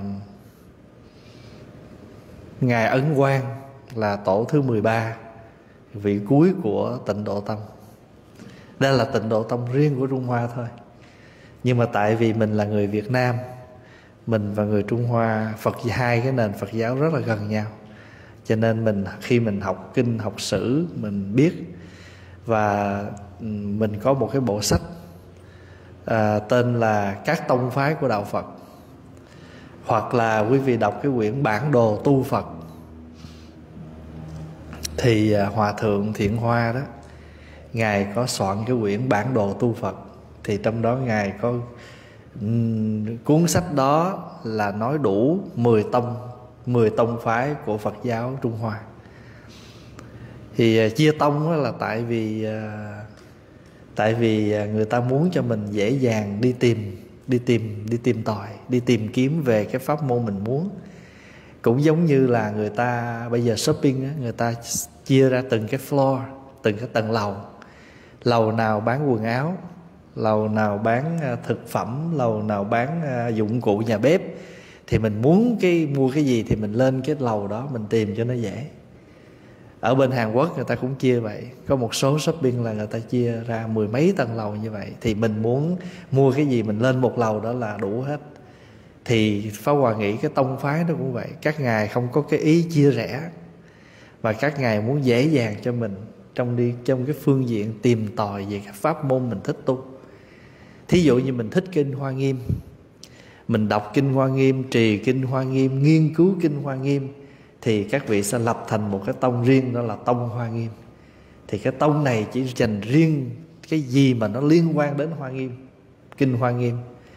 Rồi vì bây giờ mình thích bộ kinh pháp hoa, mình muốn đọc kinh pháp hoa, hành trì kinh pháp hoa, nghiên cứu kinh pháp hoa, thì mình đi tìm về cái tông gọi là pháp hoa tông. Thì ở bên trung hoa có 10 tông như vậy đó hoa nghiêm tông pháp hoa tông tịnh độ tông luật tông thiền tông pháp tướng tông. À, rồi à, gì? À, luật tông tổng cộng là 10 tông như vậy. Thì chữ tông là gì? Chữ tông mình có hai cách đọc. Thiền tông cũng được hay thiền tôn cũng được. Tôn hay là tông nó cùng một cái nghĩa là tông chỉ hay là tôn chỉ. Bây giờ mình lập cái bylaw nó gọi là mục đích không? subjects. Khi mình lập một cái bylaw cho một cái hội, hay là mình muốn xin phép lập một cái hội, thì mình phải có cái subject, cái mục đích của cái hội mình lập để làm gì. Rồi mình nêu những cái điểm đó ra, để người ta có thể nhìn vào những cái đó mà người ta nghĩ rằng mình đủ tiêu chuẩn để được một cái giấy phép lập hội. Thì cái um, cái cái chữ tông hay là tôn nó cũng có nghĩa là vậy nghĩa là tôn chỉ này là mục đích là nghiên cứu kinh pháp hoa, hành trì kinh pháp hoa, tất cả những gì trong cuộc sống tu tập của mình liên quan đến pháp hoa tông. Thì giờ vị nào muốn nghiên cứu về giới luật của nhà phật, từ tam quy ngũ giới, tất cả các thể giới, cái cách hành trì giới và lỡ ai vi phạm, thì mình sẽ có những cái cách nào để cho vị đó sám hối hay là vị đó vi phạm điều lệ luật nào như thế nào mới mới còn không được tiếp tục ở trong tăng đoàn vân vân thì mình nghiên cứu cái đó gọi là luật tông. À, và lỡ thí dụ mình có mình hành trì giới luật mình biết được cái tính linh động của luật không có bị khô khan không cứng ngắc mà mình là người hành trì cho nên mình giảng luật rất hay.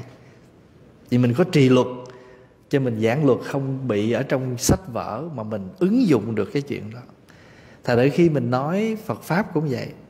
Mình nói xong sách vở á, thì nó chỉ hay và trong cái khuôn khổ của sách vở.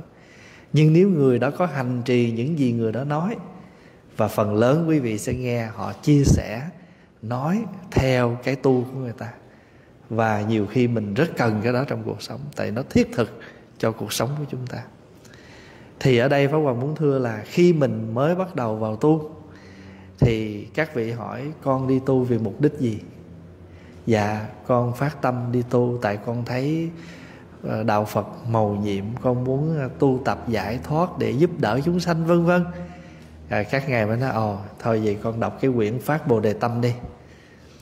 Ngài thật hiền có viết cái quyển đó hay lắm mà thiệt ở chùa pháp hòa là mỗi tháng ít nhất phải một lần toàn chúng đọc cái bản văn đó ít nhất mỗi một tháng một lần phải đọc toàn văn của quy sơn cảnh sách. À, trong một trong một tuần lễ đó là, trong một tuần lễ công phu sáng đó là thay đổi ba kinh.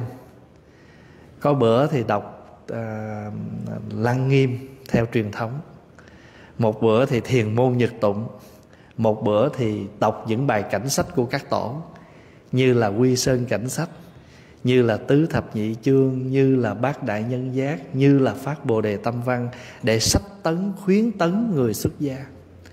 Tại vì mình đi tu là mình đã phát tâm bồ đề rồi đó. Nhưng mà ngài thật hiền có dạy mình á, ngài nêu lên cho mình 10 lý do để mình phát tâm bồ đề. Để chi? Để đừng có quên. Một tuần lễ ít nhất, review một lần, tại sao anh phát tâm bồ đề? Vì trả ơn cho cha mẹ. Vì ơn của tính thí đàn na những người nuôi mình. Trong đó có cái ơn gì? Vì không cô phụ. Vì cái sự sanh tử khổ đau mà chúng ta phát tâm tu. Thì trong đó có nêu ra 10 lý do. Rồi đồng thời mình phải nhìn lại cái sự phát tâm mình nó là tâm tiểu hay tâm đại? À, tâm chánh hay tâm tà? À, tâm thiện hay tâm chánh hay tâm tà tâm tiểu hay tâm đại tâm thiên hay tâm viên? Viên là viên mãn. À, tâm thiên là lệch một bên. Thành thử ra khi mình phát tâm bồ đề thì cái tâm bồ đề là gì? Tâm bồ đề là một cái tâm vô lượng vô biên không có sự lui sụp. Đúng ra cái tâm này đã phát á thì phải tinh tấn giữ mãi chứ không có lui thành thử ra vì vậy mà tại sao mình tu tập để làm gì? Để giữ lửa để nuôi nó cũng như hạt giống thôi. Hạt giống mà mình có cháy xuống rồi mình không tưới làm gì nó lên? Như vậy thì khi mình đã đi vào cái đường tu tập thì mỗi ngày cái công phu của mình á chính là giọt nước tưới tẩm. Giọt nước tưới tẩm. À, thí dụ như trong khi mình ăn à, thỉnh thoảng cũng được nhắc chánh niệm để chi? Để mình đừng có bị sao lãng trong bữa ăn. Mình đừng có bị phóng túng trong bữa ăn. Và mình phải đem cái tâm của mình trụ ở trong cái bữa ăn. Và không phải thấy ngon, thấy dở nữa, mà phải thấy công lao của người làm để chúng ta giảm đi cái tâm khen chê. Thật sự ra khen chê không có tội. Không có tội nhưng mà có cái lỗi. Tại sao người ta nấu cho mình ăn, người ta không than cực? Mà mình chỉ ngồi chỗ mình ăn thôi mà khen chê thì mình thấy mình lỗi rồi. Người ta đổ mồ hôi trán dán mồ hôi đầu, thức khuya dậy sớm, người ta nấu, người ta không than. À, ta chẳng nói gì mình mà mình chỉ có ăn mà không thưởng thức. Cho nên đôi khi trong cuộc sống mình hãy nên thấy cái công của cái người đó mà để chúng ta giảm đi cái tâm khen chê. Cái tâm mà gọi là thế này, thế nọ. Thì cái tâm như vậy đó, gọi là tâm phàm phu vậy thì phàm phu là gì? Là cái tâm sống bằng một cách rất là bình thường. Chữ phàm phu có nghĩa là sống rất là bình thường rất là thế tục. Ví dụ như à, theo lẽ ta làm này nó dở mà thiệt nó dở thiệt. Mình chê ví dụ đi. Thì cái đó là tâm bình thường đó tâm phá tâm phàm phu đó. Nhưng mà mình thấy người ta dở nhưng mình lại nhận cái lòng của người ta nhiều hơn. Người ta chẳng ngại cái sự mà gọi là người ta dở, mà người ta vẫn hy sinh, lao vào cái công việc đó.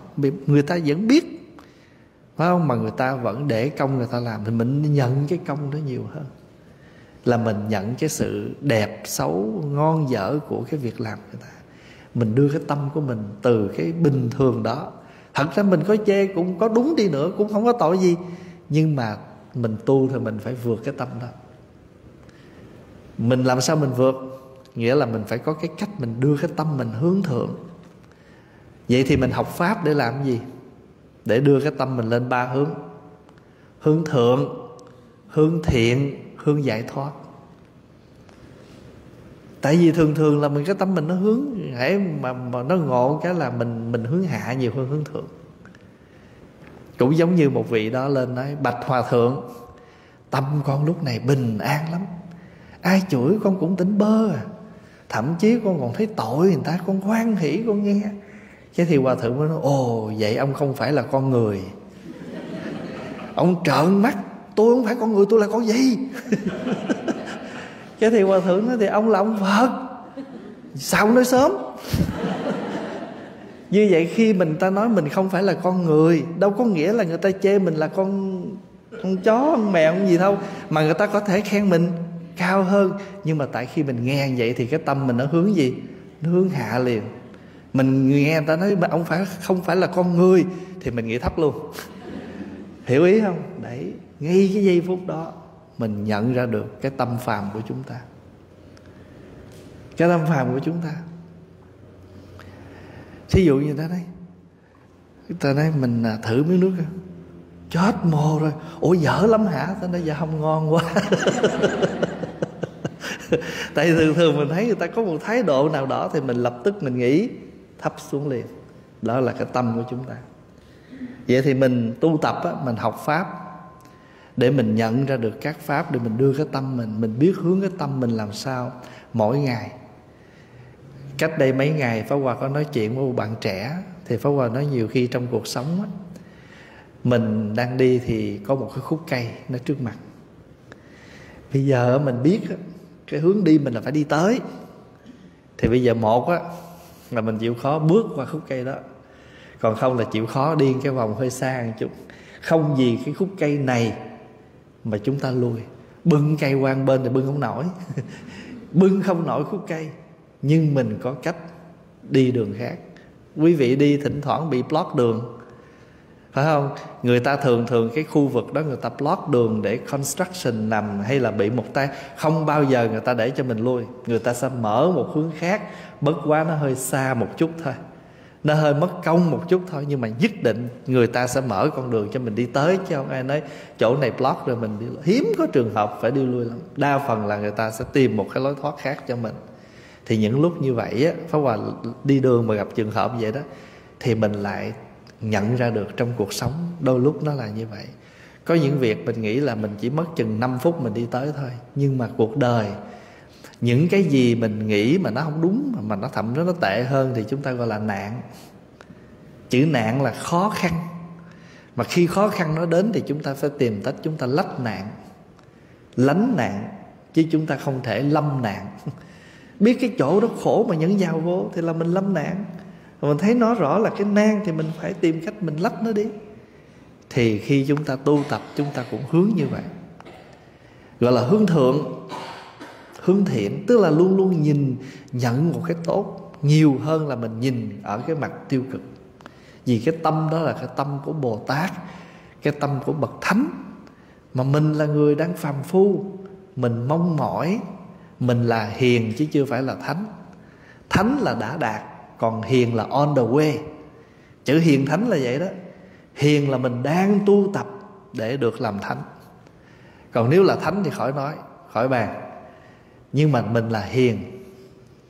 Nhưng mà cái chữ hiền của cái nghĩa tu tập nghĩa là mình phải chuyển hóa đang trên đường chuyển hóa. Giống như mình tụng vậy đó. À, à đã về nương tựa pháp con đang có hướng đi sáng đẹp trong cuộc đời về nương pháp trong con, xin nguyện cho mọi người nắm vững các pháp môn cùng lên đường chuyển hóa. Đó là một cái mình diễn đạt được cái đạo, cái lý do nào mình phải nương pháp. Cho nên khi mình đi quy y pháp là mình quy y giáo lý, đạo lý chân thật. Và cái bài tụng của đó là một bài tụng diễn đạt được cái cái chiều sâu cái ý nghĩa để làm gì để nuôi dưỡng mình. Khi mình tụng lên những câu đó, đó cái tâm mình hạnh phúc lắm. Mình tụng mình hạnh phúc lắm. Tại vì mình biết rằng nắm vững các pháp môn cùng lên đường chuyển hóa. Về nương pháp trong con xin nguyện cho mọi người nắm vững các pháp môn. Đã về nương tựa pháp con đang có hướng đi sáng đẹp trong cuộc đời. Tự nhiên nuôi dưỡng mình liền cho nên nếu mà một ngày nào, một giây phút nào mà đại chúng tụng kinh á, mà tụng tới đâu, mình niềm vui tới đó, hạnh phúc tới đó là mình biết mình vô rồi đó. Pháp đã thấm mình rồi, mình đã bắt đầu thâm nhập theo cái lời mà tụng đó. Tự quy y pháp, đương nguyện chúng sanh, cầu cho chúng sanh thâm nhập kinh tạng. Thâm nhập là mình gì? Là mình đi vào sâu vào trong đó, chứ không phải mình tụng lờ lờ lờ trên chữ nghĩa cho nên khi mình mình mình mở kinh ra, mình đọc theo là đọc kinh. Nhưng khi mình thuộc rồi, mình sẽ đi tới cái cái sâu sắc hơn là tụng kinh. Tụng kinh là gì? Thuộc kinh. Và mình thả hồn mình vào trong những lời kinh đó. Còn mình đọc là mình chưa thuộc. Cho nên mình phải chạy theo chữ. Mình phải chạy theo chữ. Còn nếu mình mà thuộc kinh rồi thì mình thả hồn theo ôi, từ lâu ba chốn ngục hình là chữ ôi của mình nghe nó thảm lắm. Giam giữ mãi con nguyền ra khỏi. Tại vì lúc đó mình thuộc được cái lời đó rồi, mình biết những câu gì nó sắp tới, cho mình thả hồn theo. Như một bài hát mà mình chưa thuộc thì mình phải cầm thì hồn của mình chưa thả trong bài hát đó. Bữa nào mình thuộc rồi ha. Bây giờ quý vị nào mà nghe ai hát bài lòng mẹ mà ta thuộc lòng rồi nghe nó réo rắt nó nó nó nó sầu nó buồn lắm. Còn mình chưa thuộc cái mình phải cầm giấy đôi lúc mình trật nhịp đồ này kia rồi mắc cười quá cái thứ nhưng mà người nào thuộc rồi thì ta thả lòng mẹ bao la làm sao? Một bông hồng cho anh một bông hồng cho em sao ta thả vào trong đó, đó. thành thử ra tụng kinh là nó sâu sắc là vì mình thuộc rồi. Mình ê a theo cái âm điệu đó mà chẳng những vậy mà tâm hồn mình thả vào đó, đó. cho nên á, thí dụ như mình đem tới, mình đem tới mình à, nhờ thầy cầu siêu, cầu an nhưng mà cái chữ cầu đó là mình mong đợi không? nhưng mà nếu mình nói kỳ an, kỳ siêu,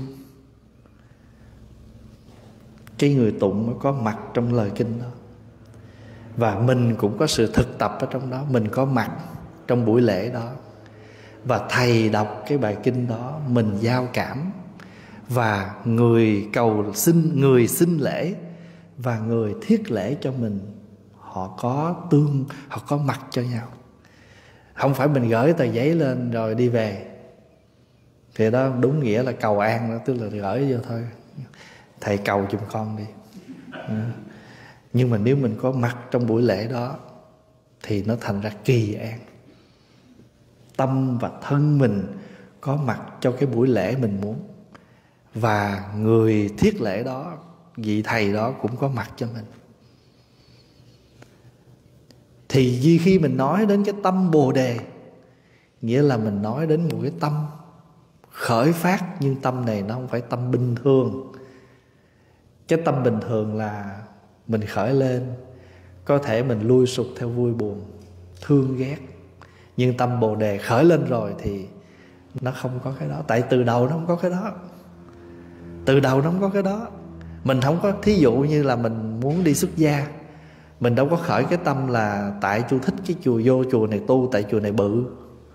Tôi thích vô chùa này tu tại vì chùa này à, rất là thoải mái. Tôi thích vô chùa này tu tại mai mốt tôi làm trụ trì. Hay tôi thích đi tu tại mai mốt tôi được làm thượng tọa. Không có ai khởi mấy tâm đó hết người ta khởi cái tâm, thí dụ một chú bé nhỏ thì khởi tâm thích ở chùa vậy thôi. Thấy từ nhỏ mà, có biết cái gì là tình yêu, là thất tình, là thậm chí cái từ ngữ ờ, độ chúng sanh còn không nghĩ tới, tại mình đâu có biết cái gì mà độ chúng sanh. Nhưng mà chỉ một cái tâm rất đơn thuần là thích ở chùa. Thích cái chiếc áo của người tu, vân vân. Thì các vị mà đi tu khởi được cái tâm bồ đề, và thậm chí như các vị lớn tuổi đã trải qua một giai đoạn của cuộc đời thăng trầm lên xuống vui buồn rồi. Thì khi các vị quyết tâm đi tu là các vị ý thức khổ đau của cuộc đời. Ý thức được cái sự thăng trầm vinh nhục được mất hơn thua của đời trên dứt khoát đi tu.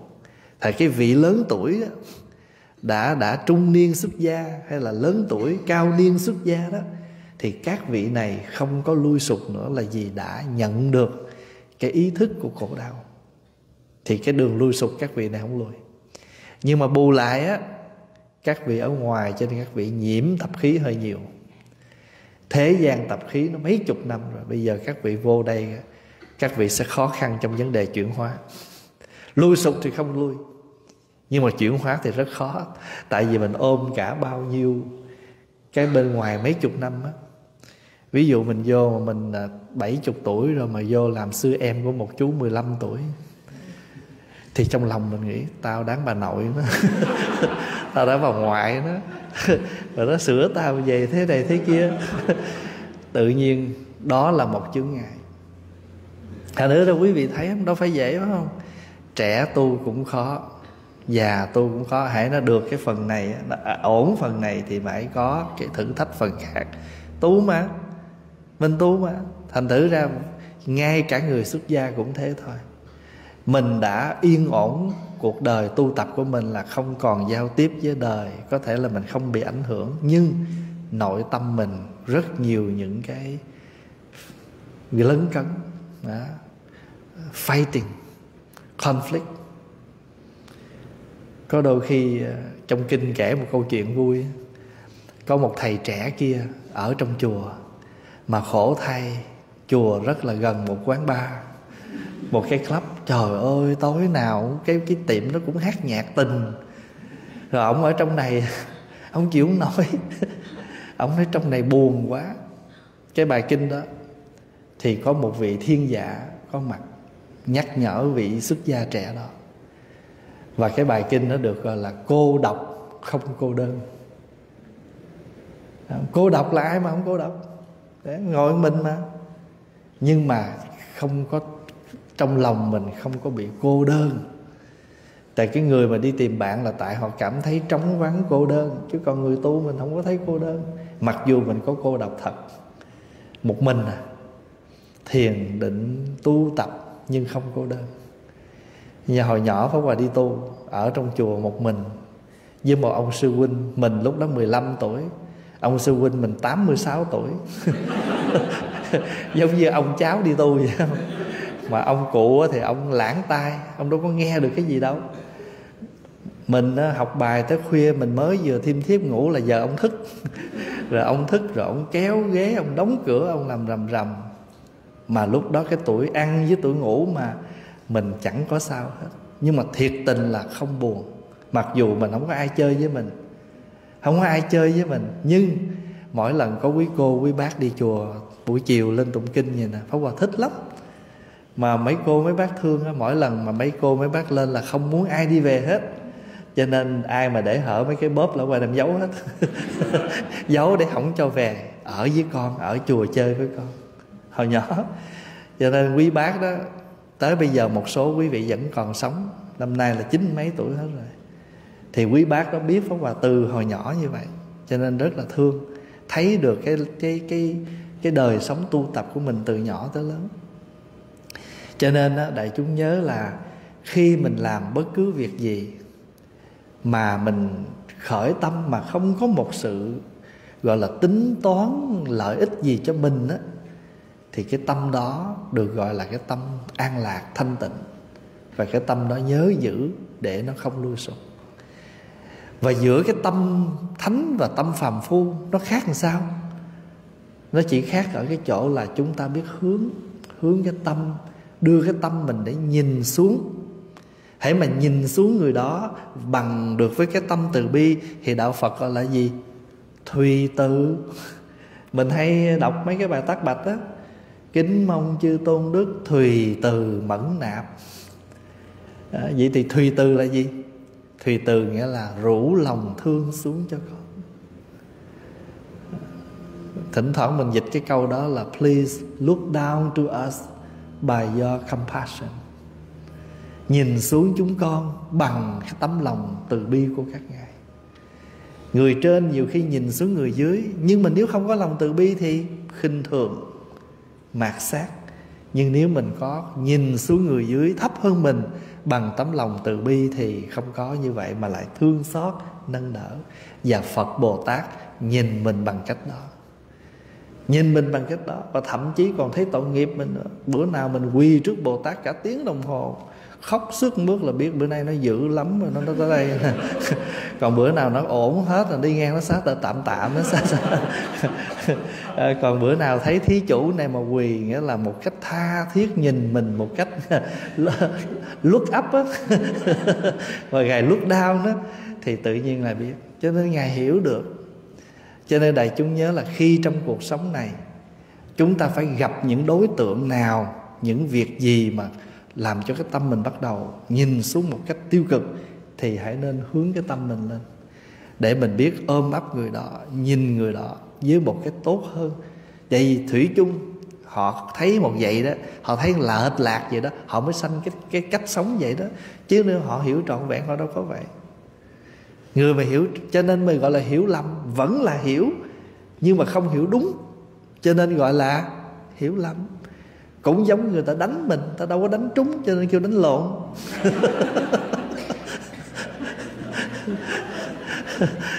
Ta muốn thôi gây mắt mà thôi gây lúa mũi. Cho nên rồi người ta cũng cãi với mình mà ta cãi trật cho nên kêu cãi lộn. Nếu mà người ta đúng là cãi đúng, mà đúng ra là không có cãi. Nếu mà là đúng là không có cãi, mà vì cãi không đúng cho nên kêu cãi lộn. quý vị hiểu rồi đó không? Tại sao mình không cãi tại mình thích dùng những chữ đó, xào tới, xào lui, để mình đưa cái tâm mình đi lên. Cũng giống như mình tụng kinh vậy đó. Có bữa tụng thấp quá, tụng nổi, thì bắt đầu giọng mình kéo lên.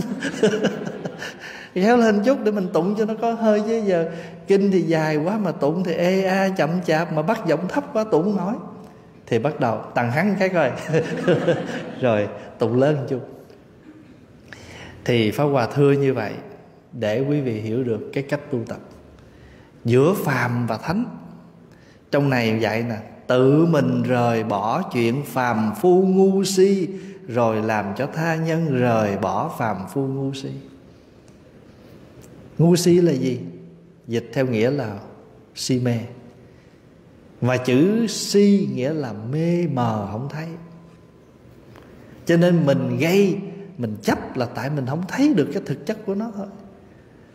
Cho nên mình lại đức bồ tát văn thù sư lợi.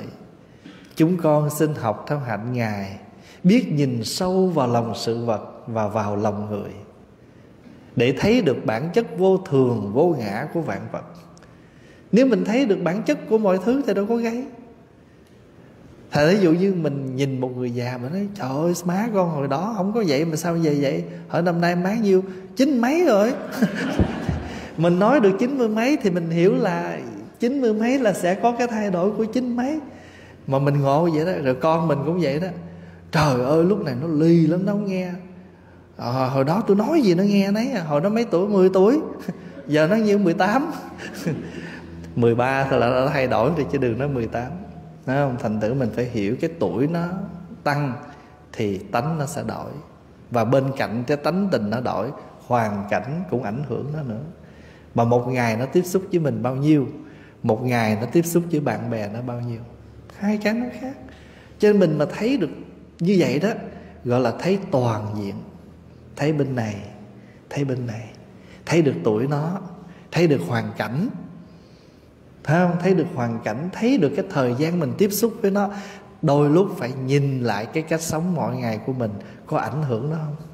Nhiều phía lắm chứ không phải một phía đâu. Mà thấy được như vậy, Tự nhiên mình có cái cái cái nhìn, Cái thấy của mình nó không còn biên kiến, Nó không còn tà kiến, Mà cái kiến, cái thấy này mình nó trọn vẹn. Mình vượt được những cái khổ lụy những phiền não căn bản của đời sống con người đó là tham sân si mạng nghi ác kiến. Mà cái kiến không á thấy thấy á, cái kiến là thấy mà nó năm loại thấy năm loại tà kiến. Mình thấy lệch lạc có một bên à mình chấp vào một cái chuyện là con tôi phải nghe lời tôi. Mình nói đúng nhưng mình đúng phần thôi. Rồi mình nhìn lại coi mình nói cái gì mà để biểu nó nghe hàng ngày cái cách nói của mình có đủ để để để để làm cho nó nghe mình không?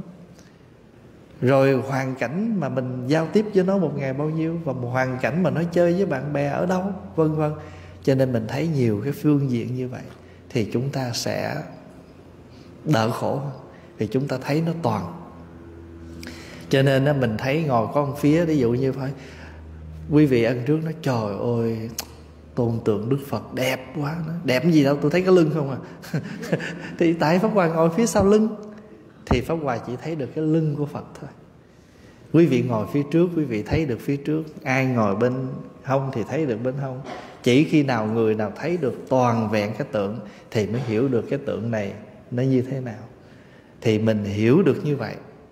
Cho nên trong này mới nói cái chữ si á, nó không có nghĩa là nó không có cái ý là chửi mình À, đần độn ngu si gì cả. Chữ ngu si nghĩa là mê mờ không thấy được cái lẽ thật gọi là ngu.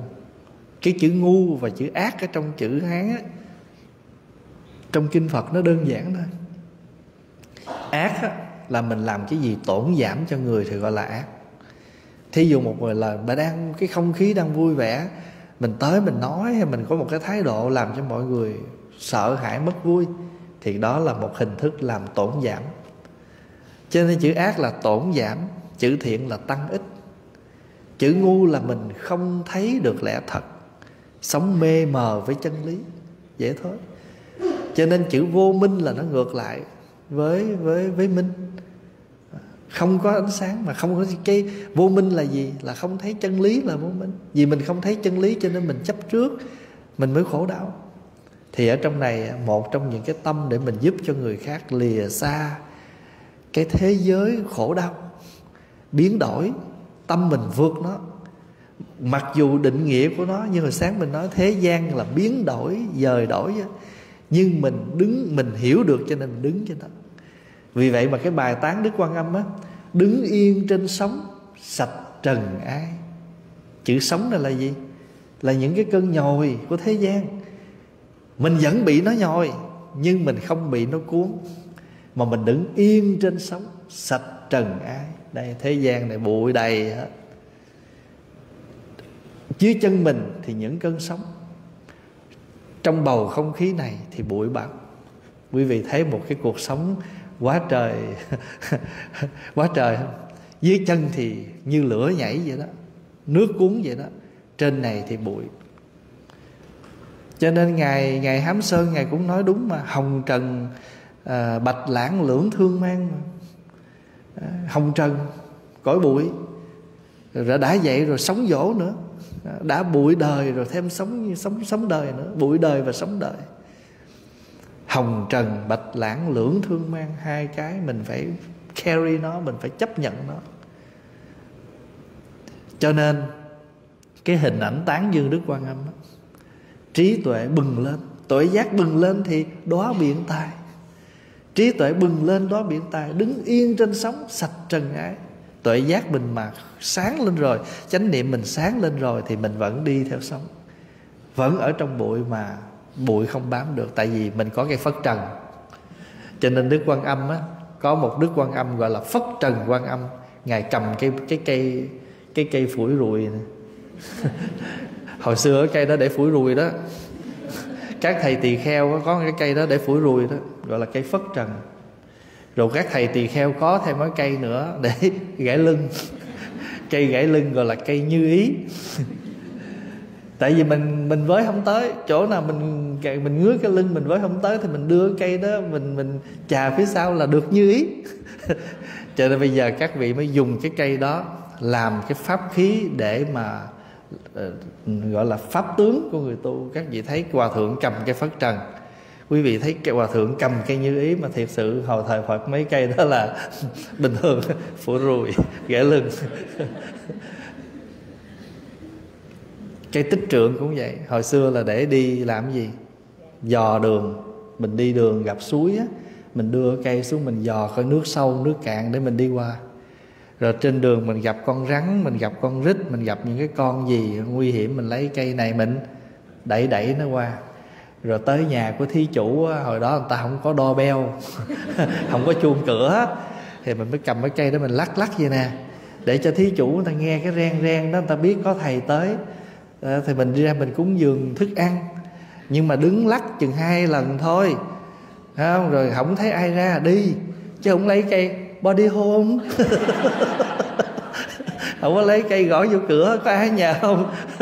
Không có. Mình lắc hai ba lần, hai lần hoặc ba lần, không có ai là mình tiếp tục mình đi. Đó là cái cây tích trượng Đúng không? trượng là gậy, tích là sắt. Gậy đó là bằng sắt để cầm, làm cái pháp khí. Rồi trên đường lỡ mình có những cái gì mình cần vác thì mình xỏ lên cái cây đó mình đem đi. Thì những cái cây đó hồi xưa nó cũng đơn giản lắm.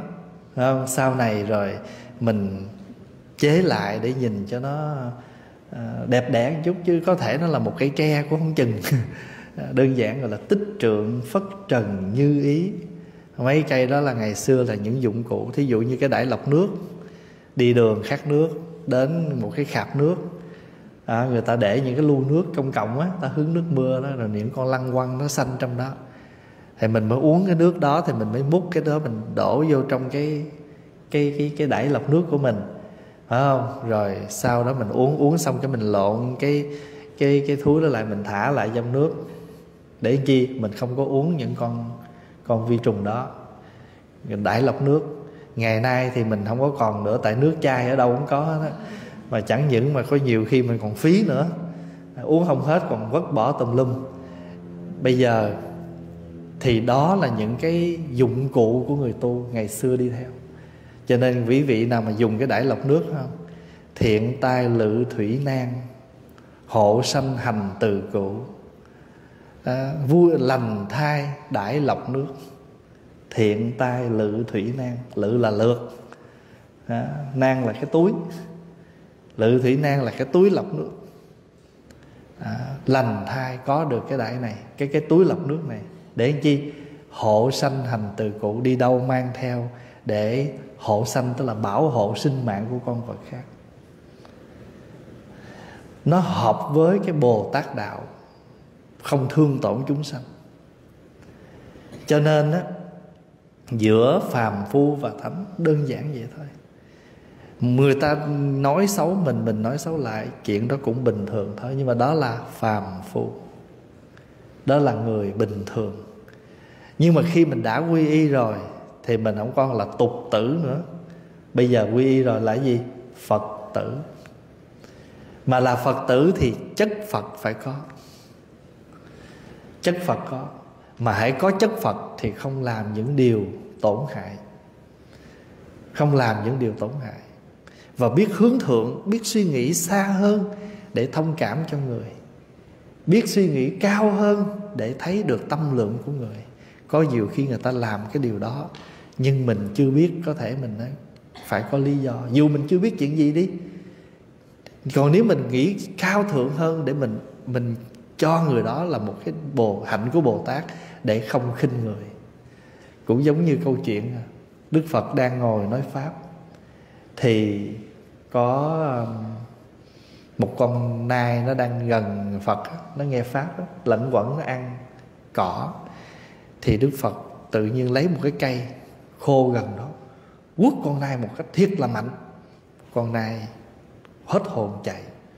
Thì ai cũng ngơ ngác thấy cái hình ảnh, ủa, bữa nay sao phật không bình thường? Mọi lần từ bi quá mà bữa nay sao mạnh tay với con nai quá? Thì chỉ mấy phút sau thì thấy ông thợ săn đi tới. Thì lúc đó mình mới vỡ lẽ ra, nếu đức phật không làm vậy, thì con nai có thể chết dưới tay của thợ săn nghĩa là nhiều khi một cái hành động đó của một người nào đó mà xưa nay mình thấy họ rất tốt sao bữa nay họ không dễ thương, thì cũng đừng có lập tức đặt cho họ một cái tên là xấu, là thế này thế kia, mà phải thấy rằng những bậc như vậy mà hôm nay có một hành động khác thường chắc phải có vấn đề. Pháp Hòa nói một việc khác. Có một lần trong một buổi tụng giới Đức Phật ngồi trong buổi tụng giới đó Thì thường thường chư Tăng tập hợp đầy đủ á, Thì Đức Phật bắt đầu nói lại giới cho mình nghe. Hôm nay sao ngồi hoài Ngồi giờ này qua giờ khác Mà Đức Phật im lặng không nói gì hết. Thì các thầy mới thắc mắc Nhưng mà không ai biết Các vị biết phải có vấn đề Cho nên ngồi chờ. Thì cuối cùng có một vị lại vì sao? Cái vị đó đã phạm lỗi mà không ra sám hối. Và không sám hối cho nên chưa thanh tịnh. Chưa thanh tịnh thì không thể thuyết giới. Cho nên thường ở trong cái buổi thuyết giới mà hỏi đó, xin hỏi các vị đại đức trong đại chúng đây có sự thanh tịnh không? Hỏi ba lần, các vị im lặng. Tôi đã hỏi ba lần, các vị im lặng, nghĩa là các vị đã chấp nhận mình thanh tịnh. Tôi xin ghi nhận như vậy như vậy nếu sau này có gì xảy ra là lỗi của các vị tại tôi hỏi rồi các vị có lỗi thì phải phát lô mà các vị im lặng là không phát lô là thì tôi chỉ biết ghi nhận là các vị không lỗi thôi. Đó, cho nên nếu ai có lỗi thì nhận lỗi rồi từ đó mình hướng dẫn cho người đó sám hối để người đó trở lại thanh tịnh. Mà người đó trở lại thanh tịnh rồi thì cuộc sống trong này yên ổn cũng giống như trong một buổi họp. À, trước khi chấm dứt xin hỏi ờ, đại chúng có ai có thắc mắc gì nữa không? Để mình nêu lên để giải tỏa để trước khi chúng ta kết thúc buổi họp. Các vị im lặng hết trơn. Thì cái vị chủ tọa phải yên tâm là buổi họp mình đã thông hết rồi.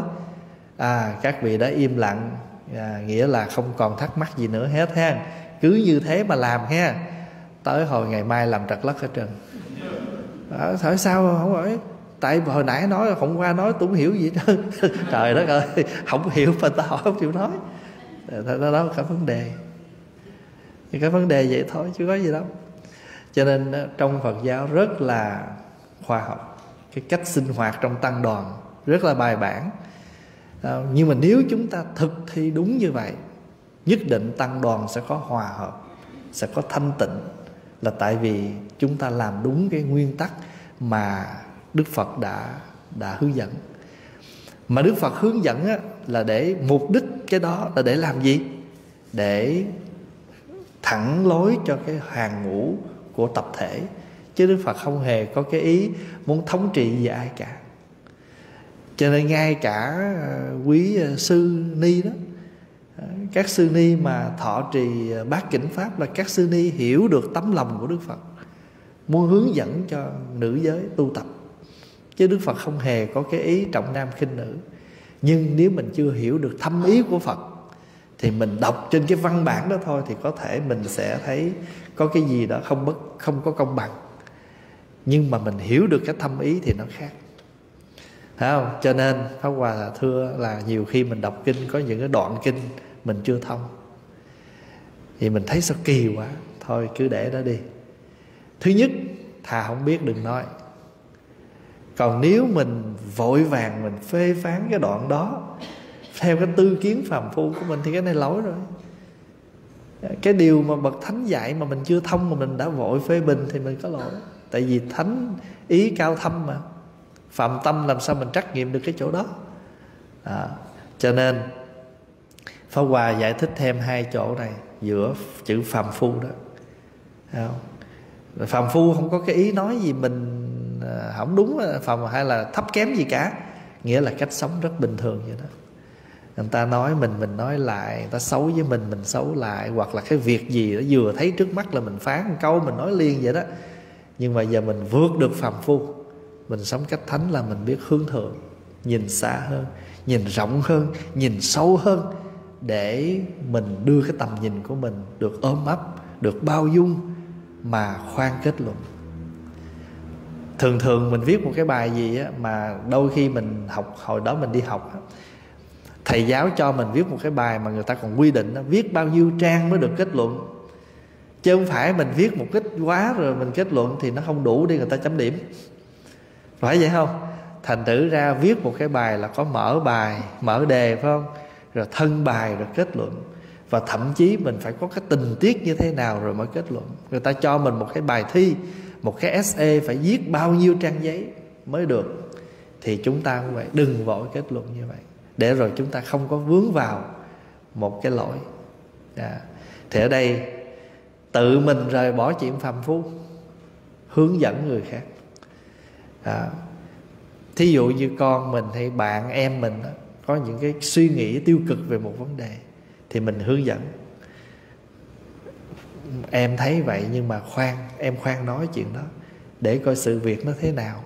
Không? nhiều khi ờ, một một tập thể người ta làm vậy có thể là nó có cái cái cái bộ óc của nhiều người mà mà một cái mình nhìn thấy chưa thấu.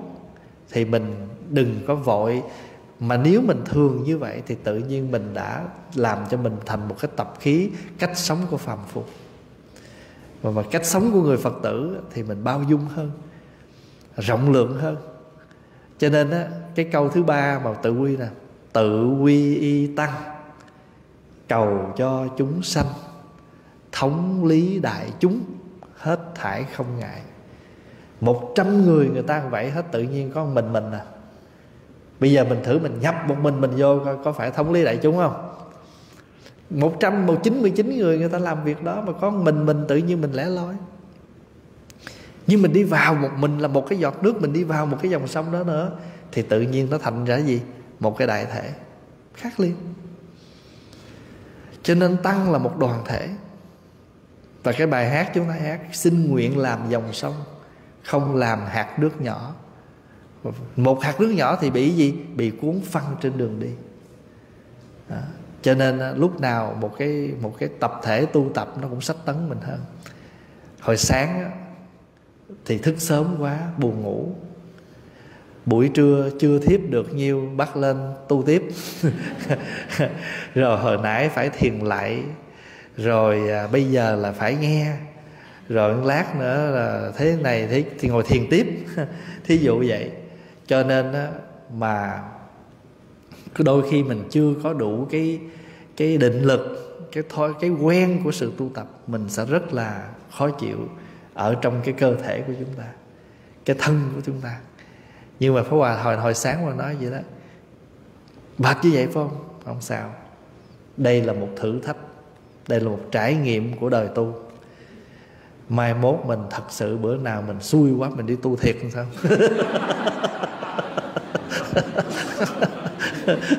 Đó, mà tu thiệt rồi mà bây giờ mình còn là phật tử ha còn được chiều chuộng chút nha.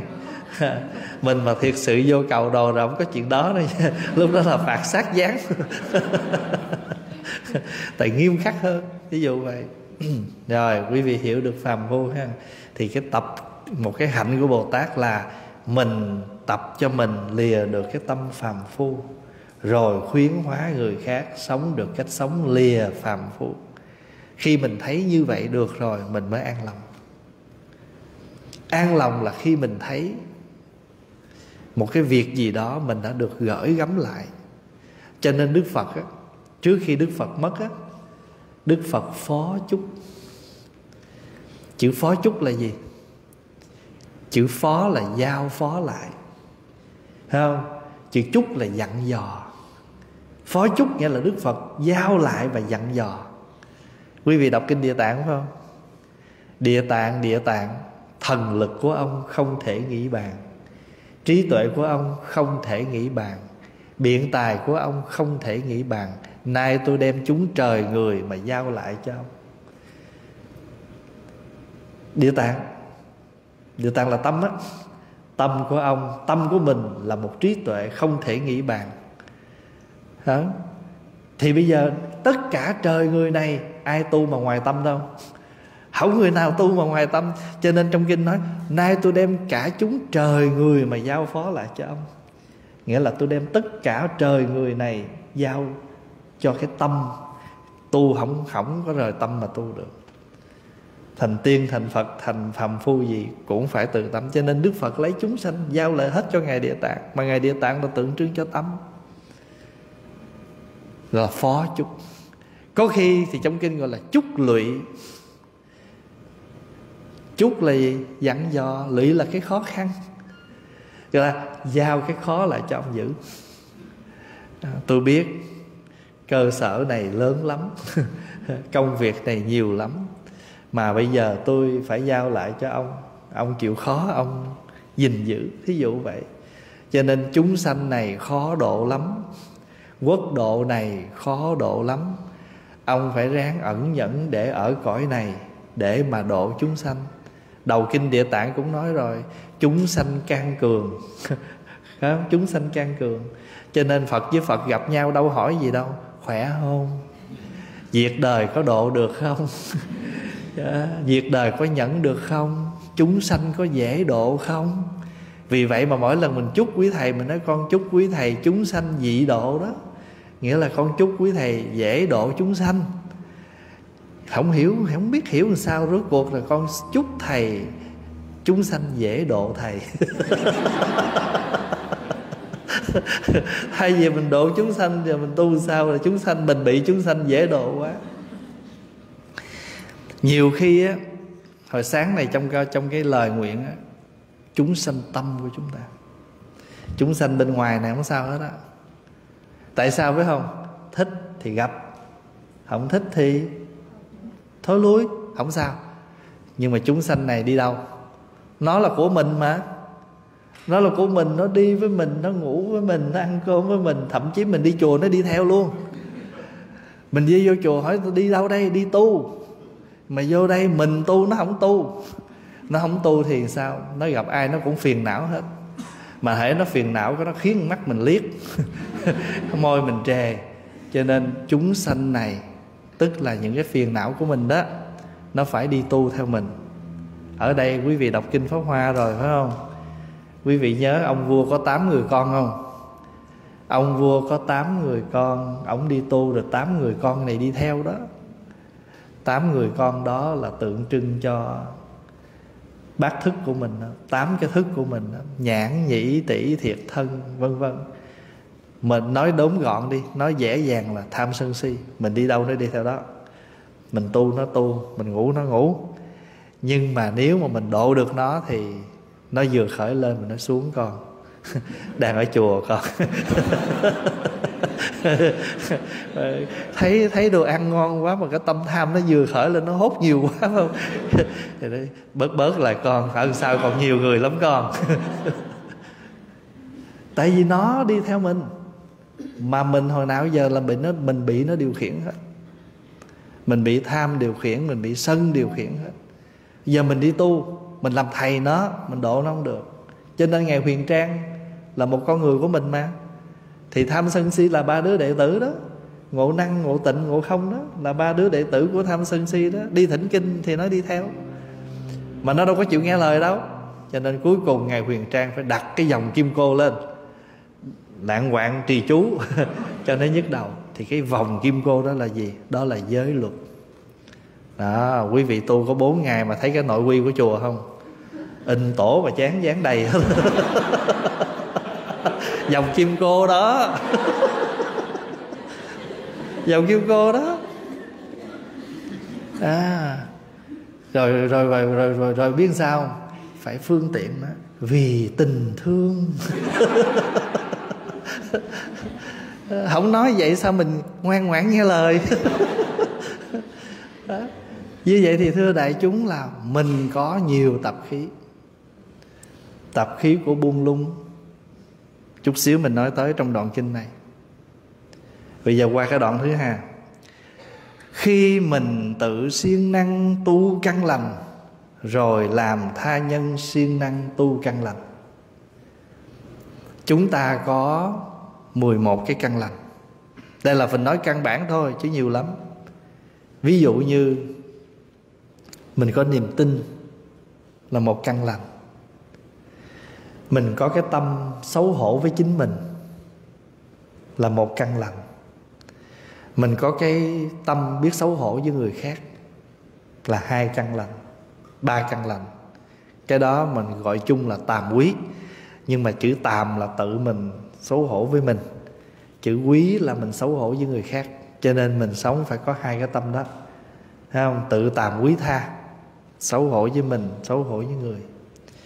Chữ xấu hổ đây không có nghĩa là mình à, mình à, tự ti mà mình phải biết xấu hổ là khi mình không được như vậy mà người ta ca ngợi mình như vậy hổ thẹn. Rồi mình á, thì không được như vậy mà trước mặt mọi người, mình cứ nổ. Nổ bất biết. Mà người ta biết mình quá trời quá đất luôn, mà mình nhắm mắt mình vẫn nổ. Thì là không tàm, không quý mà khi không tàm, không quý thì mình đi đâu mình cũng sống rất là dở. Sống không có biết trên biết dưới gì hết. Không biết người, biết ta. Cho nên có tàm, có quý ba tâm rồi phải không? Cái tâm thứ tư là vô tham. Vô tham là một tâm thiện, là một căn lành. Mà ngược lại với cái tâm bất thiện là gì? Là tham. Cho nên mình vô tham có nghĩa là không có tham một cách thái quá. Mình mình mình đói bụng mình cần ăn, đó là chuyện bình thường, đó là nhu cầu. Nhưng mình lấy hơn cái mình cần, một lát mình bắt đầu giận lên, giận xuống, thì cái đây là lý do nào? Lý do là mình đã tham hơn. Vô tham. Vô sân, vô si. Thêm ba tâm nữa là sáu tâm. Tâm thứ bảy là tâm tinh tấn. Làm gì phải siêng năng? Không riêng chữ tu tập. Không phải riêng chuyện tu tập. Làm việc gì cũng phải có siêng năng. Từ chuyện học hành cho đến bất cứ việc gì mà pháp hòa hay nói với mấy bạn trẻ nè. Trên con đường thành công không có bước chân của người lười biếng. Bước người làm biếng thì làm gì đi mà có bước chân? Làm biếng không chịu đi thì làm gì đi tới đâu? Cho nên ở chỗ thành công không có bước chân của người làm biếng. Chỉ có người siêng năng mới đặt bước chân đi thôi. Hồi đó có một vị thầy dẫn một người đệ tử đi hành đạo. Đi hành thành đạo thời gian thì người đệ tử chán quá buồn quá tối ngày cứ lẻo đẻo theo ông thầy hoài. Không có gì hấp dẫn hết. Rồi đi tới đâu cũng là khóa tu. Rồi bắt im lặng đủ thứ hết. Thì người ông đệ tử muốn thôi lui. Mà ông lấy cái cớ là con mệt mỏi quá. Giờ con muốn đi về chùa. Hay là còn không thì con về nhà với má con chứ còn con không có theo thầy nổi nữa. Thì ông thầy nói ờ à, bây giờ thôi con nghỉ đi con nghĩ rồi ngày mai á, con đi một bước được không? Nó trời ơi, tưởng gì chứ bước thì dễ thôi thì ngày mai sáng với ông đi thêm bước, được bước. Ngày mai cái thầy đi bước nữa, thì cái câu chuyện của thầy chỉ muốn nói gì? Thành công của con người chỉ nhờ mỗi một bước chân. Có ai bước hơn đâu, một bước thôi. Nhưng mà cứ thế mà, từng bước.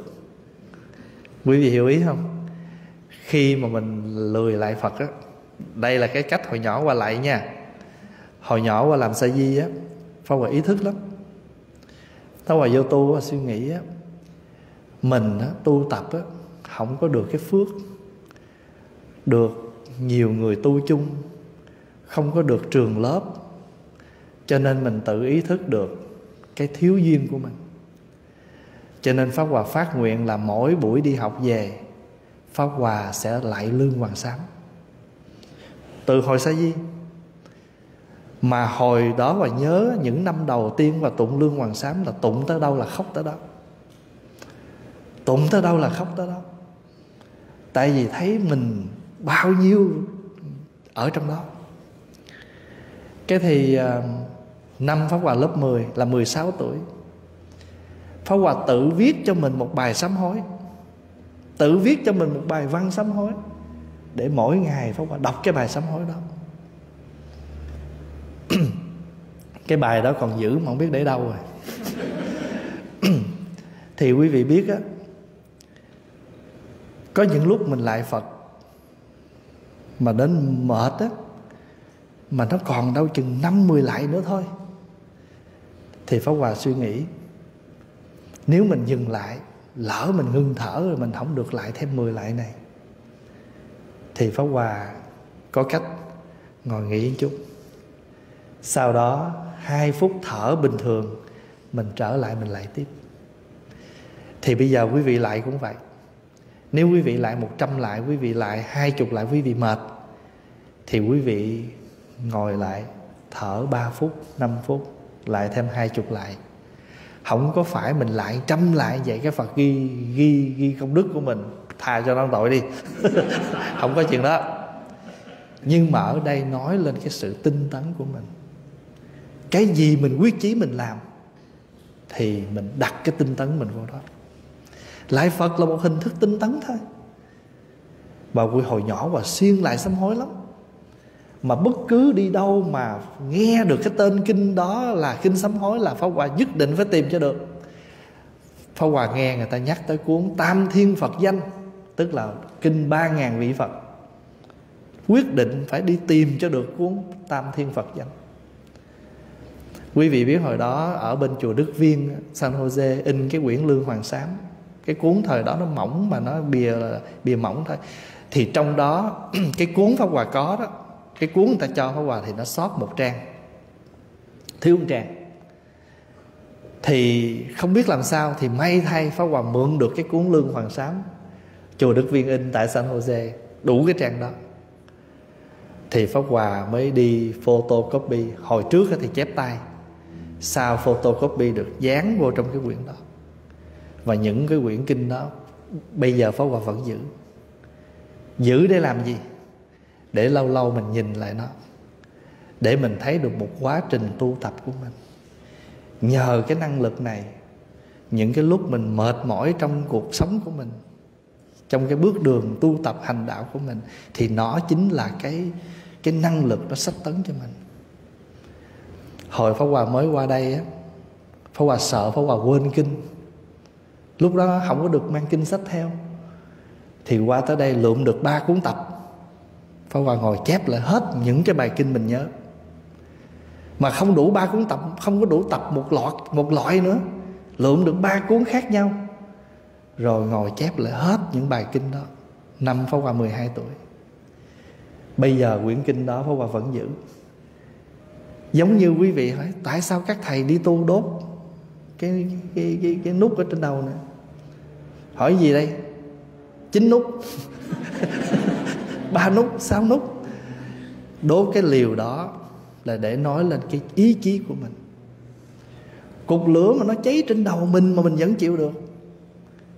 Ngồi chịu trân cái cục lửa đó từ một cái cục lửa một cái cục nhang đó. Nó là nhang chứ đâu nhang xe xe xe thành một cục vậy nè.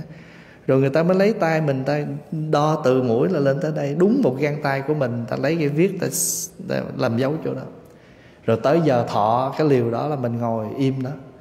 Rồi các vị đốt cái cục lửa đó, đó đốt cho cháy thành than rồi thả xuống. Thả ba cục xuống vậy nào. Rồi đại chúng tụng chú đại bi hay là niệm phật gì đó mình ngồi mà mồ hôi nó ra mà đầu gân nó căng lên hết.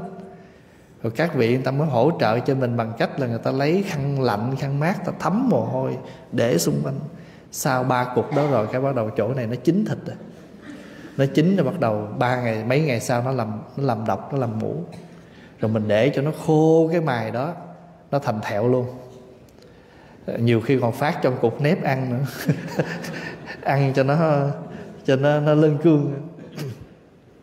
Nhưng mà thật ra cái đó phải của phật giáo không? Không. Thời phật không có cái đó. Cái này là của các tổ. Các tổ dựa theo kinh pháp hoa bày ra đốt cái đó để nói lên ý chí. Mai mốt trên đường đời này, gặp bất cứ khó khăn gì nó đến với mình, nhắc nhở mình, ngày xưa mình ngồi đây, mình ngồi mình thọ ba cái cục lửa này trên đầu mà mình chịu được, thì cuộc đời này có sóng gió, có khó khăn gì, cũng không là cái gì đối với mình hết. Pháp hòa thì không có đốt cái đó nhưng mà pháp hòa có những cái kỷ niệm của ngày hồi nhỏ của mình, như là chép một quyển kinh, như là cái áo tràng mình mặc hồi 7 tuổi, như là những cái những cái gì mà pháp hòa lưu lại hồi nhỏ của mình đó. Pháp Hòa có nhiều cái Pháp Hòa làm hồi nhỏ lắm, Vô chùa thiếu thốn là tự mình làm hết. Cái đải lọc nước, Pháp Hòa đi thọ với tỳ kheo Pháp Hòa tự làm luôn. Mà tự làm bằng cách nào quý vị biết không? Không có dây kẽm. Đi lấy cái cây cái, cái, cái mai bằng cái mai giả mà người ta bán mùa Tết á. Cây mai đó, đó nó gắn mai đó Pháp Hòa lấy mấy cái bông mai đó hết Rồi lấy cái cọng kẽm đó đó Tự Pháp Hòa cuốn lại. Rồi không có vải Pháp Hòa lấy vải tan Người ta xả tan á. Pháp Hòa tự cắt là tự mình mai cho mình cái đại lọc nước để đi thọ giới. Cái đại lọc nước đó ngày nay Pháp Hòa vẫn giữ đó. Thì khi mà cuộc sống của mình mình nhìn cái đó, không phải là mình tiếc thương quá khứ, nhưng mà chính cái này, nó là năng lực để thúc đẩy mình đi trên cái con đường mà mình đã chọn. Thì mình có những kỷ niệm. Cho nên thí dụ mình chụp hình với mẹ, chụp hình với ba, chụp hình với thầy, để làm gì? Khi nào mình mệt mỏi trong cuộc sống, mình lấy cái hình của mẹ ra, thì mẹ như một năng lực. Tiếp tục cho mình đi. Hồi xưa mẹ cực khổ mà nuôi chín đứa tụi con. Con bây giờ con đứa con nuôi không nổi. Con khổ lên, khổ xuống, thì mẹ chính là cái năng lực. Quý vị hiểu mà nói không? Cho nên ai cũng có hết, ai cũng có từ những hình ảnh, từ những kỷ niệm. Cho nên mình tặng cho nhau một cái kỷ niệm gì đó giữ cái đó để làm chi? Để mai mốt trong cuộc sống mình có bị cái gì đó, chính cái người đó, món vật đó giúp cho mình đủ cái năng lực tinh tấn. Cho nên tinh tấn là gì? Là sự siêng năng mà mình đã tin tưởng tin tưởng cái công việc đó. Chữ tấn là tiến bộ. Mà vì sao mình phải tiến bộ? Vì mình đã tin tưởng rõ ràng cái công việc đó mình phải làm. Cho nên gọi là tinh tấn mình biết mình ngồi thiền sẽ mang lại cho mình một kết quả an tịnh. Mình biết mình niệm phật sẽ mang lại cho mình một kết quả định tâm qua câu niệm phật. Thì bất cứ khó khăn gì, bất cứ ai nói gì, pháp tu này vẫn không thay đổi. Pháp môn sinh nguyện học, vô lượng pháp môn tu. Cho nên mỗi ngày mình niệm phật, ngồi thiền tụng kinh cái chánh hạnh mình không có không có giữ thì làm sao? Phó Hòa Thưa với đại chúng, Ở đây quý vị nào cũng biết Hòa Thượng Trí Tịnh đúng không? Hòa Thượng mà dịch Kinh Pháp Hoa, Kinh Địa Tạng mình tụng đó. Thì cuộc đời của Hòa Thượng, Chánh hạnh của Hòa Thượng là gì? Tụng Kinh niệm Phật, Ăn chay. Hòa Thượng đề xướng ba việc. Đời tôi, chánh hạnh của tôi là Tụng Kinh Niệm Phật, Ăn chay. Đi đâu Ngài cũng khuyến khích đại chúng vậy. Đi bất cứ ở đâu Ngày nào Ngài vẫn hành trì Sáng Ngài tụng Kinh Kim Cang.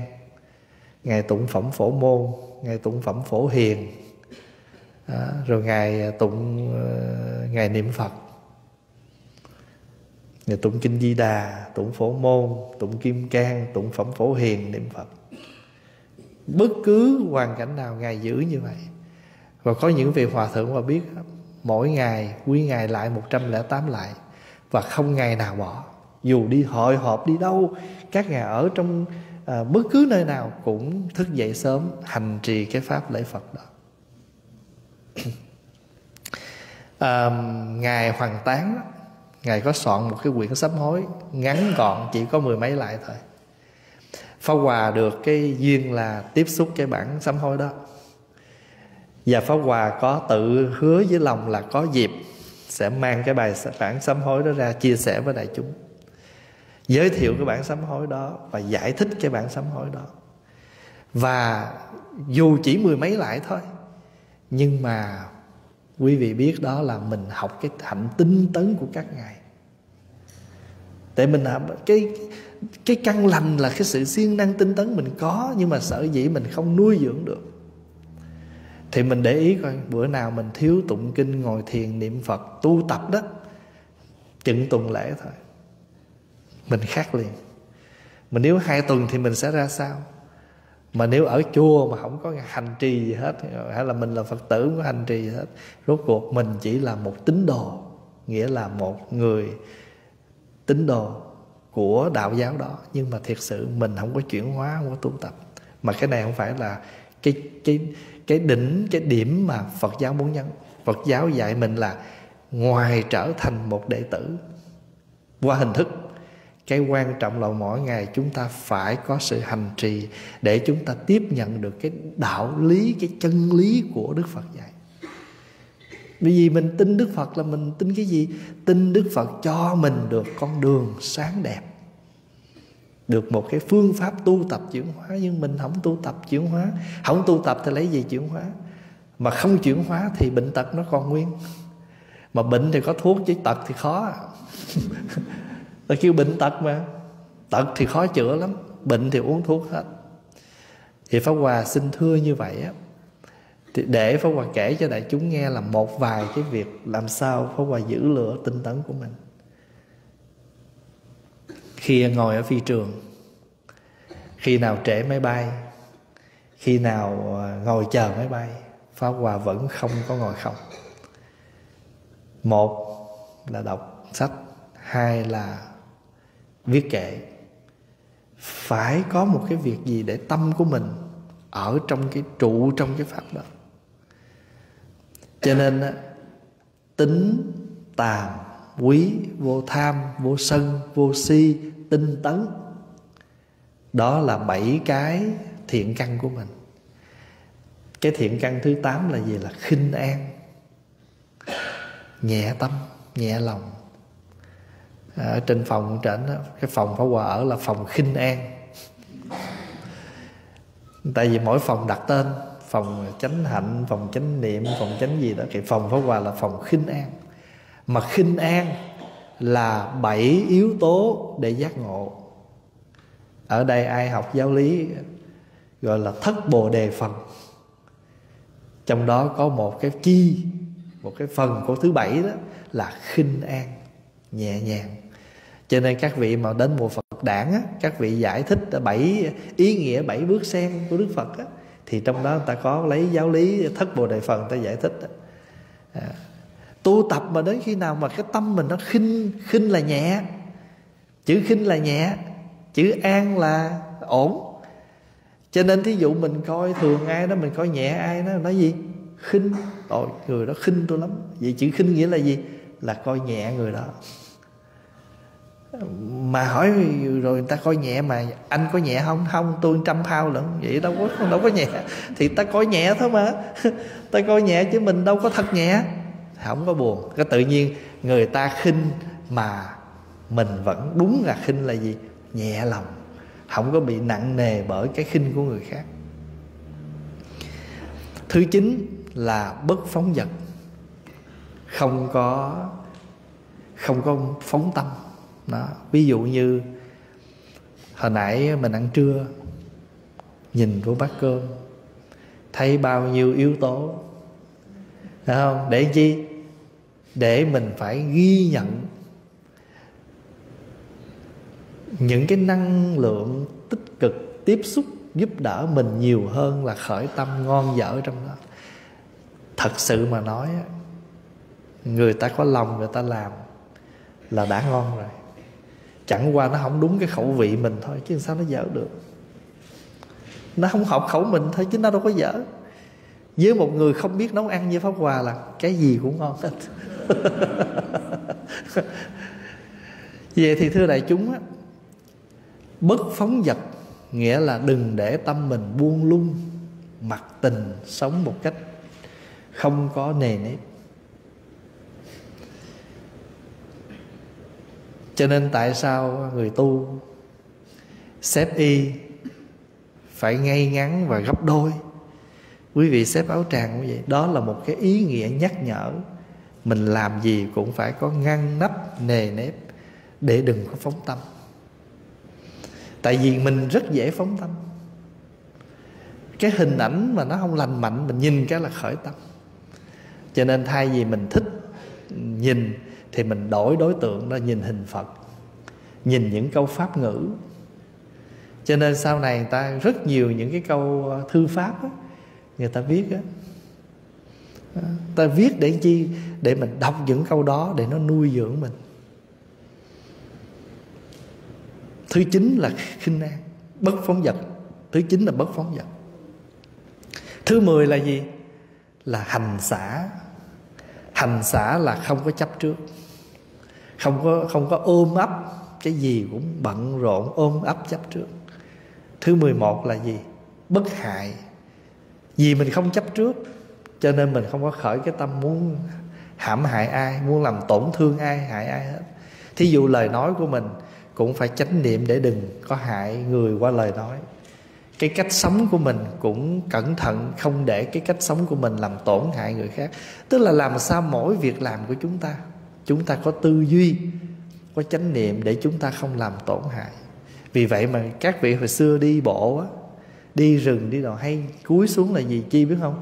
Để ý cái bước chân, sợ mình đạp những con những con vật nhỏ nhất ở dưới nó chết. Thì ở đây á, nuôi căn lành. Nuôi căn lành thì rất nhiều, nhưng mà căn bản chúng ta có 11 cái tâm lành, như hồi nãy giờ Pháp Hòa chia sẻ. Tính, tàm, quý, vô tham, vô sân, vô si, tinh tấn, khinh an, bất phóng vật à, hành xả và bất hại. Nếu học theo duy thức học á thì duy thức học gọi cái này là 11 tâm sở thiện. 11 cái tâm thiện mà nó thuộc về mình Nó ở trong mình. Mình sẵn có. Mình sẵn có gọi là 11 tâm sở thiện. Gọi là thiện căn hết. Kinh Di Đà nói Người nào mà ít thiện căn quá không sanh về cõi Phật được. À, bất thiểu thiện căn phước đức nhân duyên đắc sanh bỉ quốc. À, này xá lợi Phật, Người mà thiếu căn lành thì không thể về cõi Phật. Cõi Phật là cõi an lành, mà căn lành không có làm sao về đó? Mà phước đức không có cũng không được. Thiện căn, phước đức, nhân duyên phải đủ ba yếu tố đó.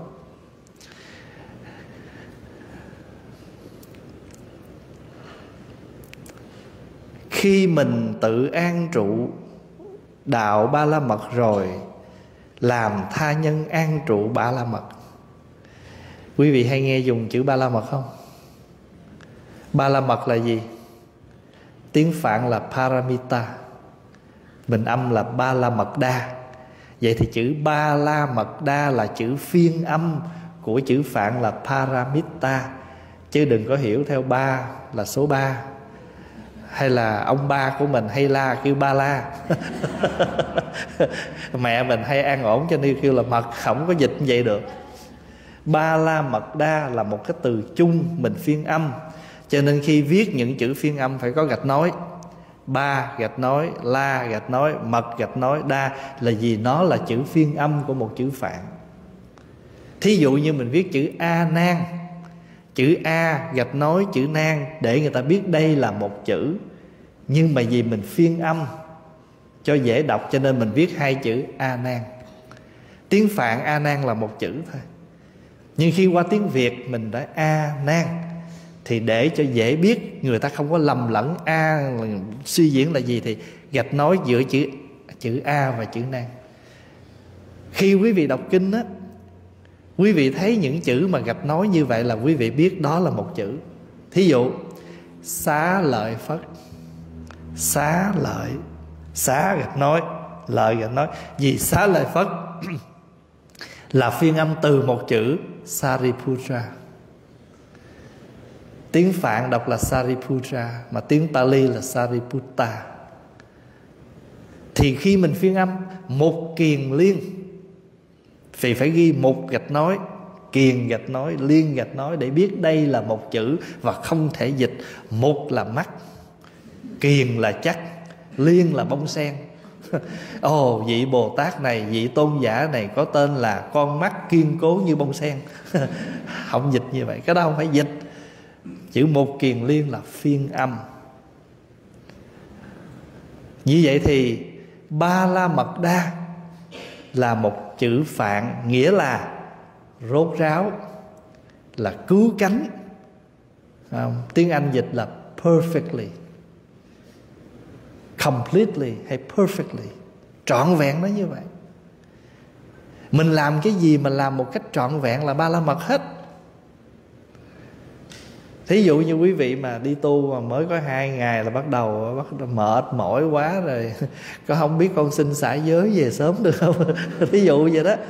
Thì ráng tu cho trọn hết bốn ngày.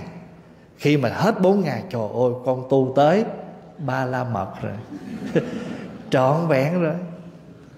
Cái gì mình làm mà trọn vẹn rốt ráo và không có bị lui sụp không có bất cứ một cái khó khăn nào nó dừng lại nửa đường cho nên nguyện cho con đi mãi, không dừng lại giữa đường. Tới tuyệt đối vô biên, tâm đồng tâm chư phật. Thì khi dụ như mình mà hay bị cái tâm mà mình lui sụt vậy thì ráng học câu đó để mình nguyện. Nguyện cho con đi mãi, không dừng lại giữa đường mình biết cái tâm mình hay như vậy thì viết cái câu đó lên, làm câu pháp ngữ cho mình, dán ngay cái cái chỗ nào mình hay ra vô đó. Nguyện cho con đi mãi, không dừng lại giữa đường. Bất quá là con không đi đường này, con đi đường khác chứ con không lui. Con không con không chịu thua. Dạ. Thì trong kinh dạy á, người nào an trụ trong ba la mật và cũng giúp cho người khác, làm cho tha nhân được an trụ, thì ba la mật là gì? Ngày mai mình sẽ biết.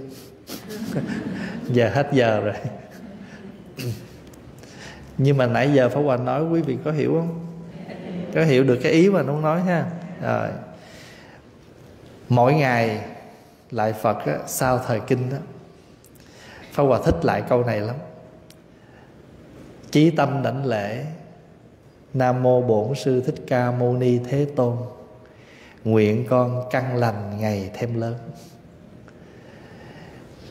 Cái thân của mình là cái thứ, Cho nên Pháp Hòa sẽ đọc, Nguyện con thân tâm thường an lạc. Nó phải đi sau cái căn lành. Tại vì nếu mà thân tâm mà mình an lạc á, Mà căn lành không có đó, Cũng không được. Nhưng mà giờ muốn căn lành tăng trưởng, thân tâm an lạc thì việc đầu tiên phải nghiệp chướng tiêu trừ nghiệp chướng tiêu trừ thì mình mới đủ cái, giống như đất mà nó mềm mại, nó dinh dưỡng thì hạt giống nó nảy mầm rất là dễ dàng. Cho nên trong 10 trong 12 cái lại, Pháp Hòa chọn ba câu đó, làm cái làm cái đề mục thường lại mỗi buổi tối sau thời kinh. Nhất tâm đảnh lễ, nam mô thích ca mâu ni thế tôn, nguyện con tội chướng được tiêu trừ nhất tâm đảnh lễ, nam mô thích ca mâu ni thế tôn, nguyện con căn lành ngày thêm lớn. Nhất tâm đảnh lễ, nam mô thích ca mâu ni thế tôn, nguyện con thân tâm thường an tịnh. Còn cái chuyện à, nguyện con à, sớm à, viên mãn bồ tát đạo rộng độ chúng sanh, thấy phật thọ ký vãng sanh nước phật gì đó. Mình lại thêm thì mình lại nhưng nếu chỉ gọn gầy trong ba câu thì mình chọn ba câu. Thứ nhất, nghiệp chướng được tiêu trừ. Thứ hai, căn lành ngày thêm lớn. Phải không? Nó hỗ trợ rồi.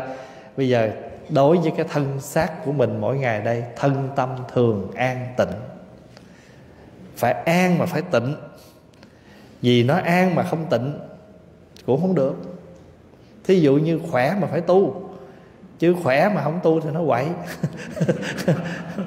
đó. giống như mình có tiền thì phải biết sử dụng tiền. Có tiền mà không có chánh niệm thì tiền nó làm khổ mình. Có tiền phải có chánh niệm, phải có tuệ giác. Cho nên trong hai thứ phước, trong hai thứ phước, mình có được cái phước vật và nếu có được thêm phước trí thì trọn vẹn. Tại vì có phước vật là có của cải nhưng mà không có phước trí thì không có tuệ giác, không có chánh niệm, làm sao biết sử dụng phước vật? Cũng giống như à, người ta cho mình một món quà mà mình không biết cách ráp, không biết cách sử dụng, thì sẽ để món quà đó ở đó. Mãi mãi không bao giờ mở ra sử dụng. Vì mình biết ráp, mình biết sử dụng cho nên món quà đó được sử dụng. Biết cách ráp, biết cách sử dụng cho nên món quà đó hữu dụng còn không biết thì nó thành ra vô dụng. Cuộc sống này chúng ta cần vật chất. Nhưng nếu có trí tuệ có chánh niệm thì vật chất chúng ta sẽ sử dụng đúng cách và thậm chí nó không làm khổ mình lỡ mình có bị mất. Và phước nó có hai loại ha phước vật phước trí. À, phước trí là có trí tuệ mình có cái phước có hiểu biết có trí tuệ.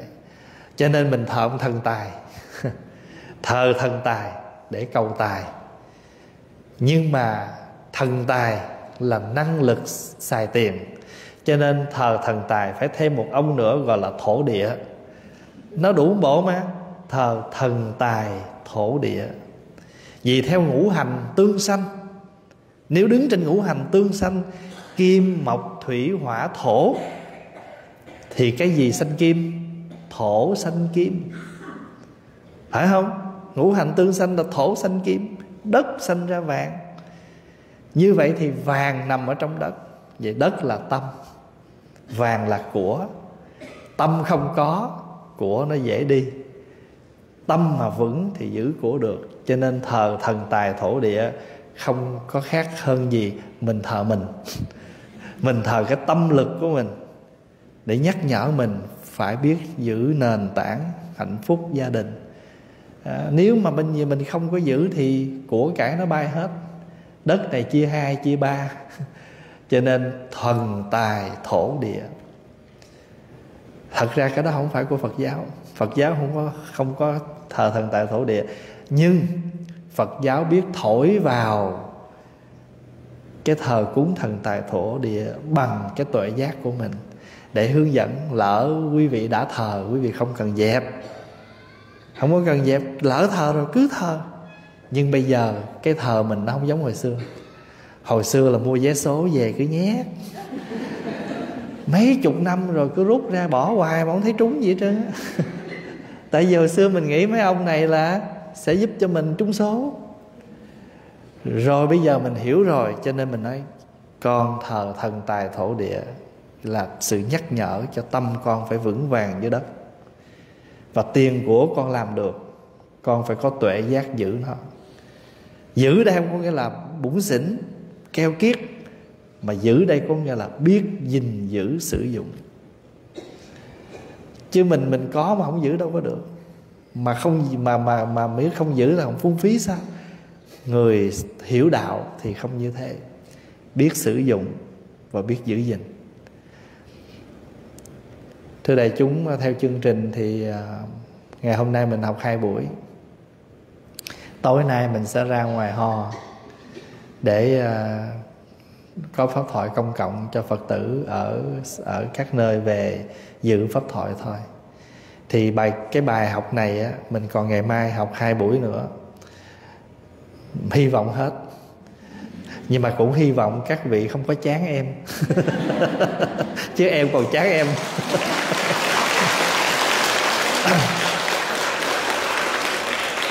Cảm ơn những tràng vỗ tay. Cổ vũ.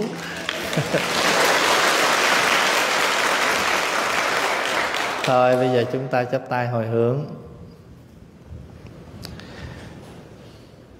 nguyện à, đem à, công à, đức này hướng về khắp tất cả đệ tử và chúng sanh đều trọn thành Phật đạo.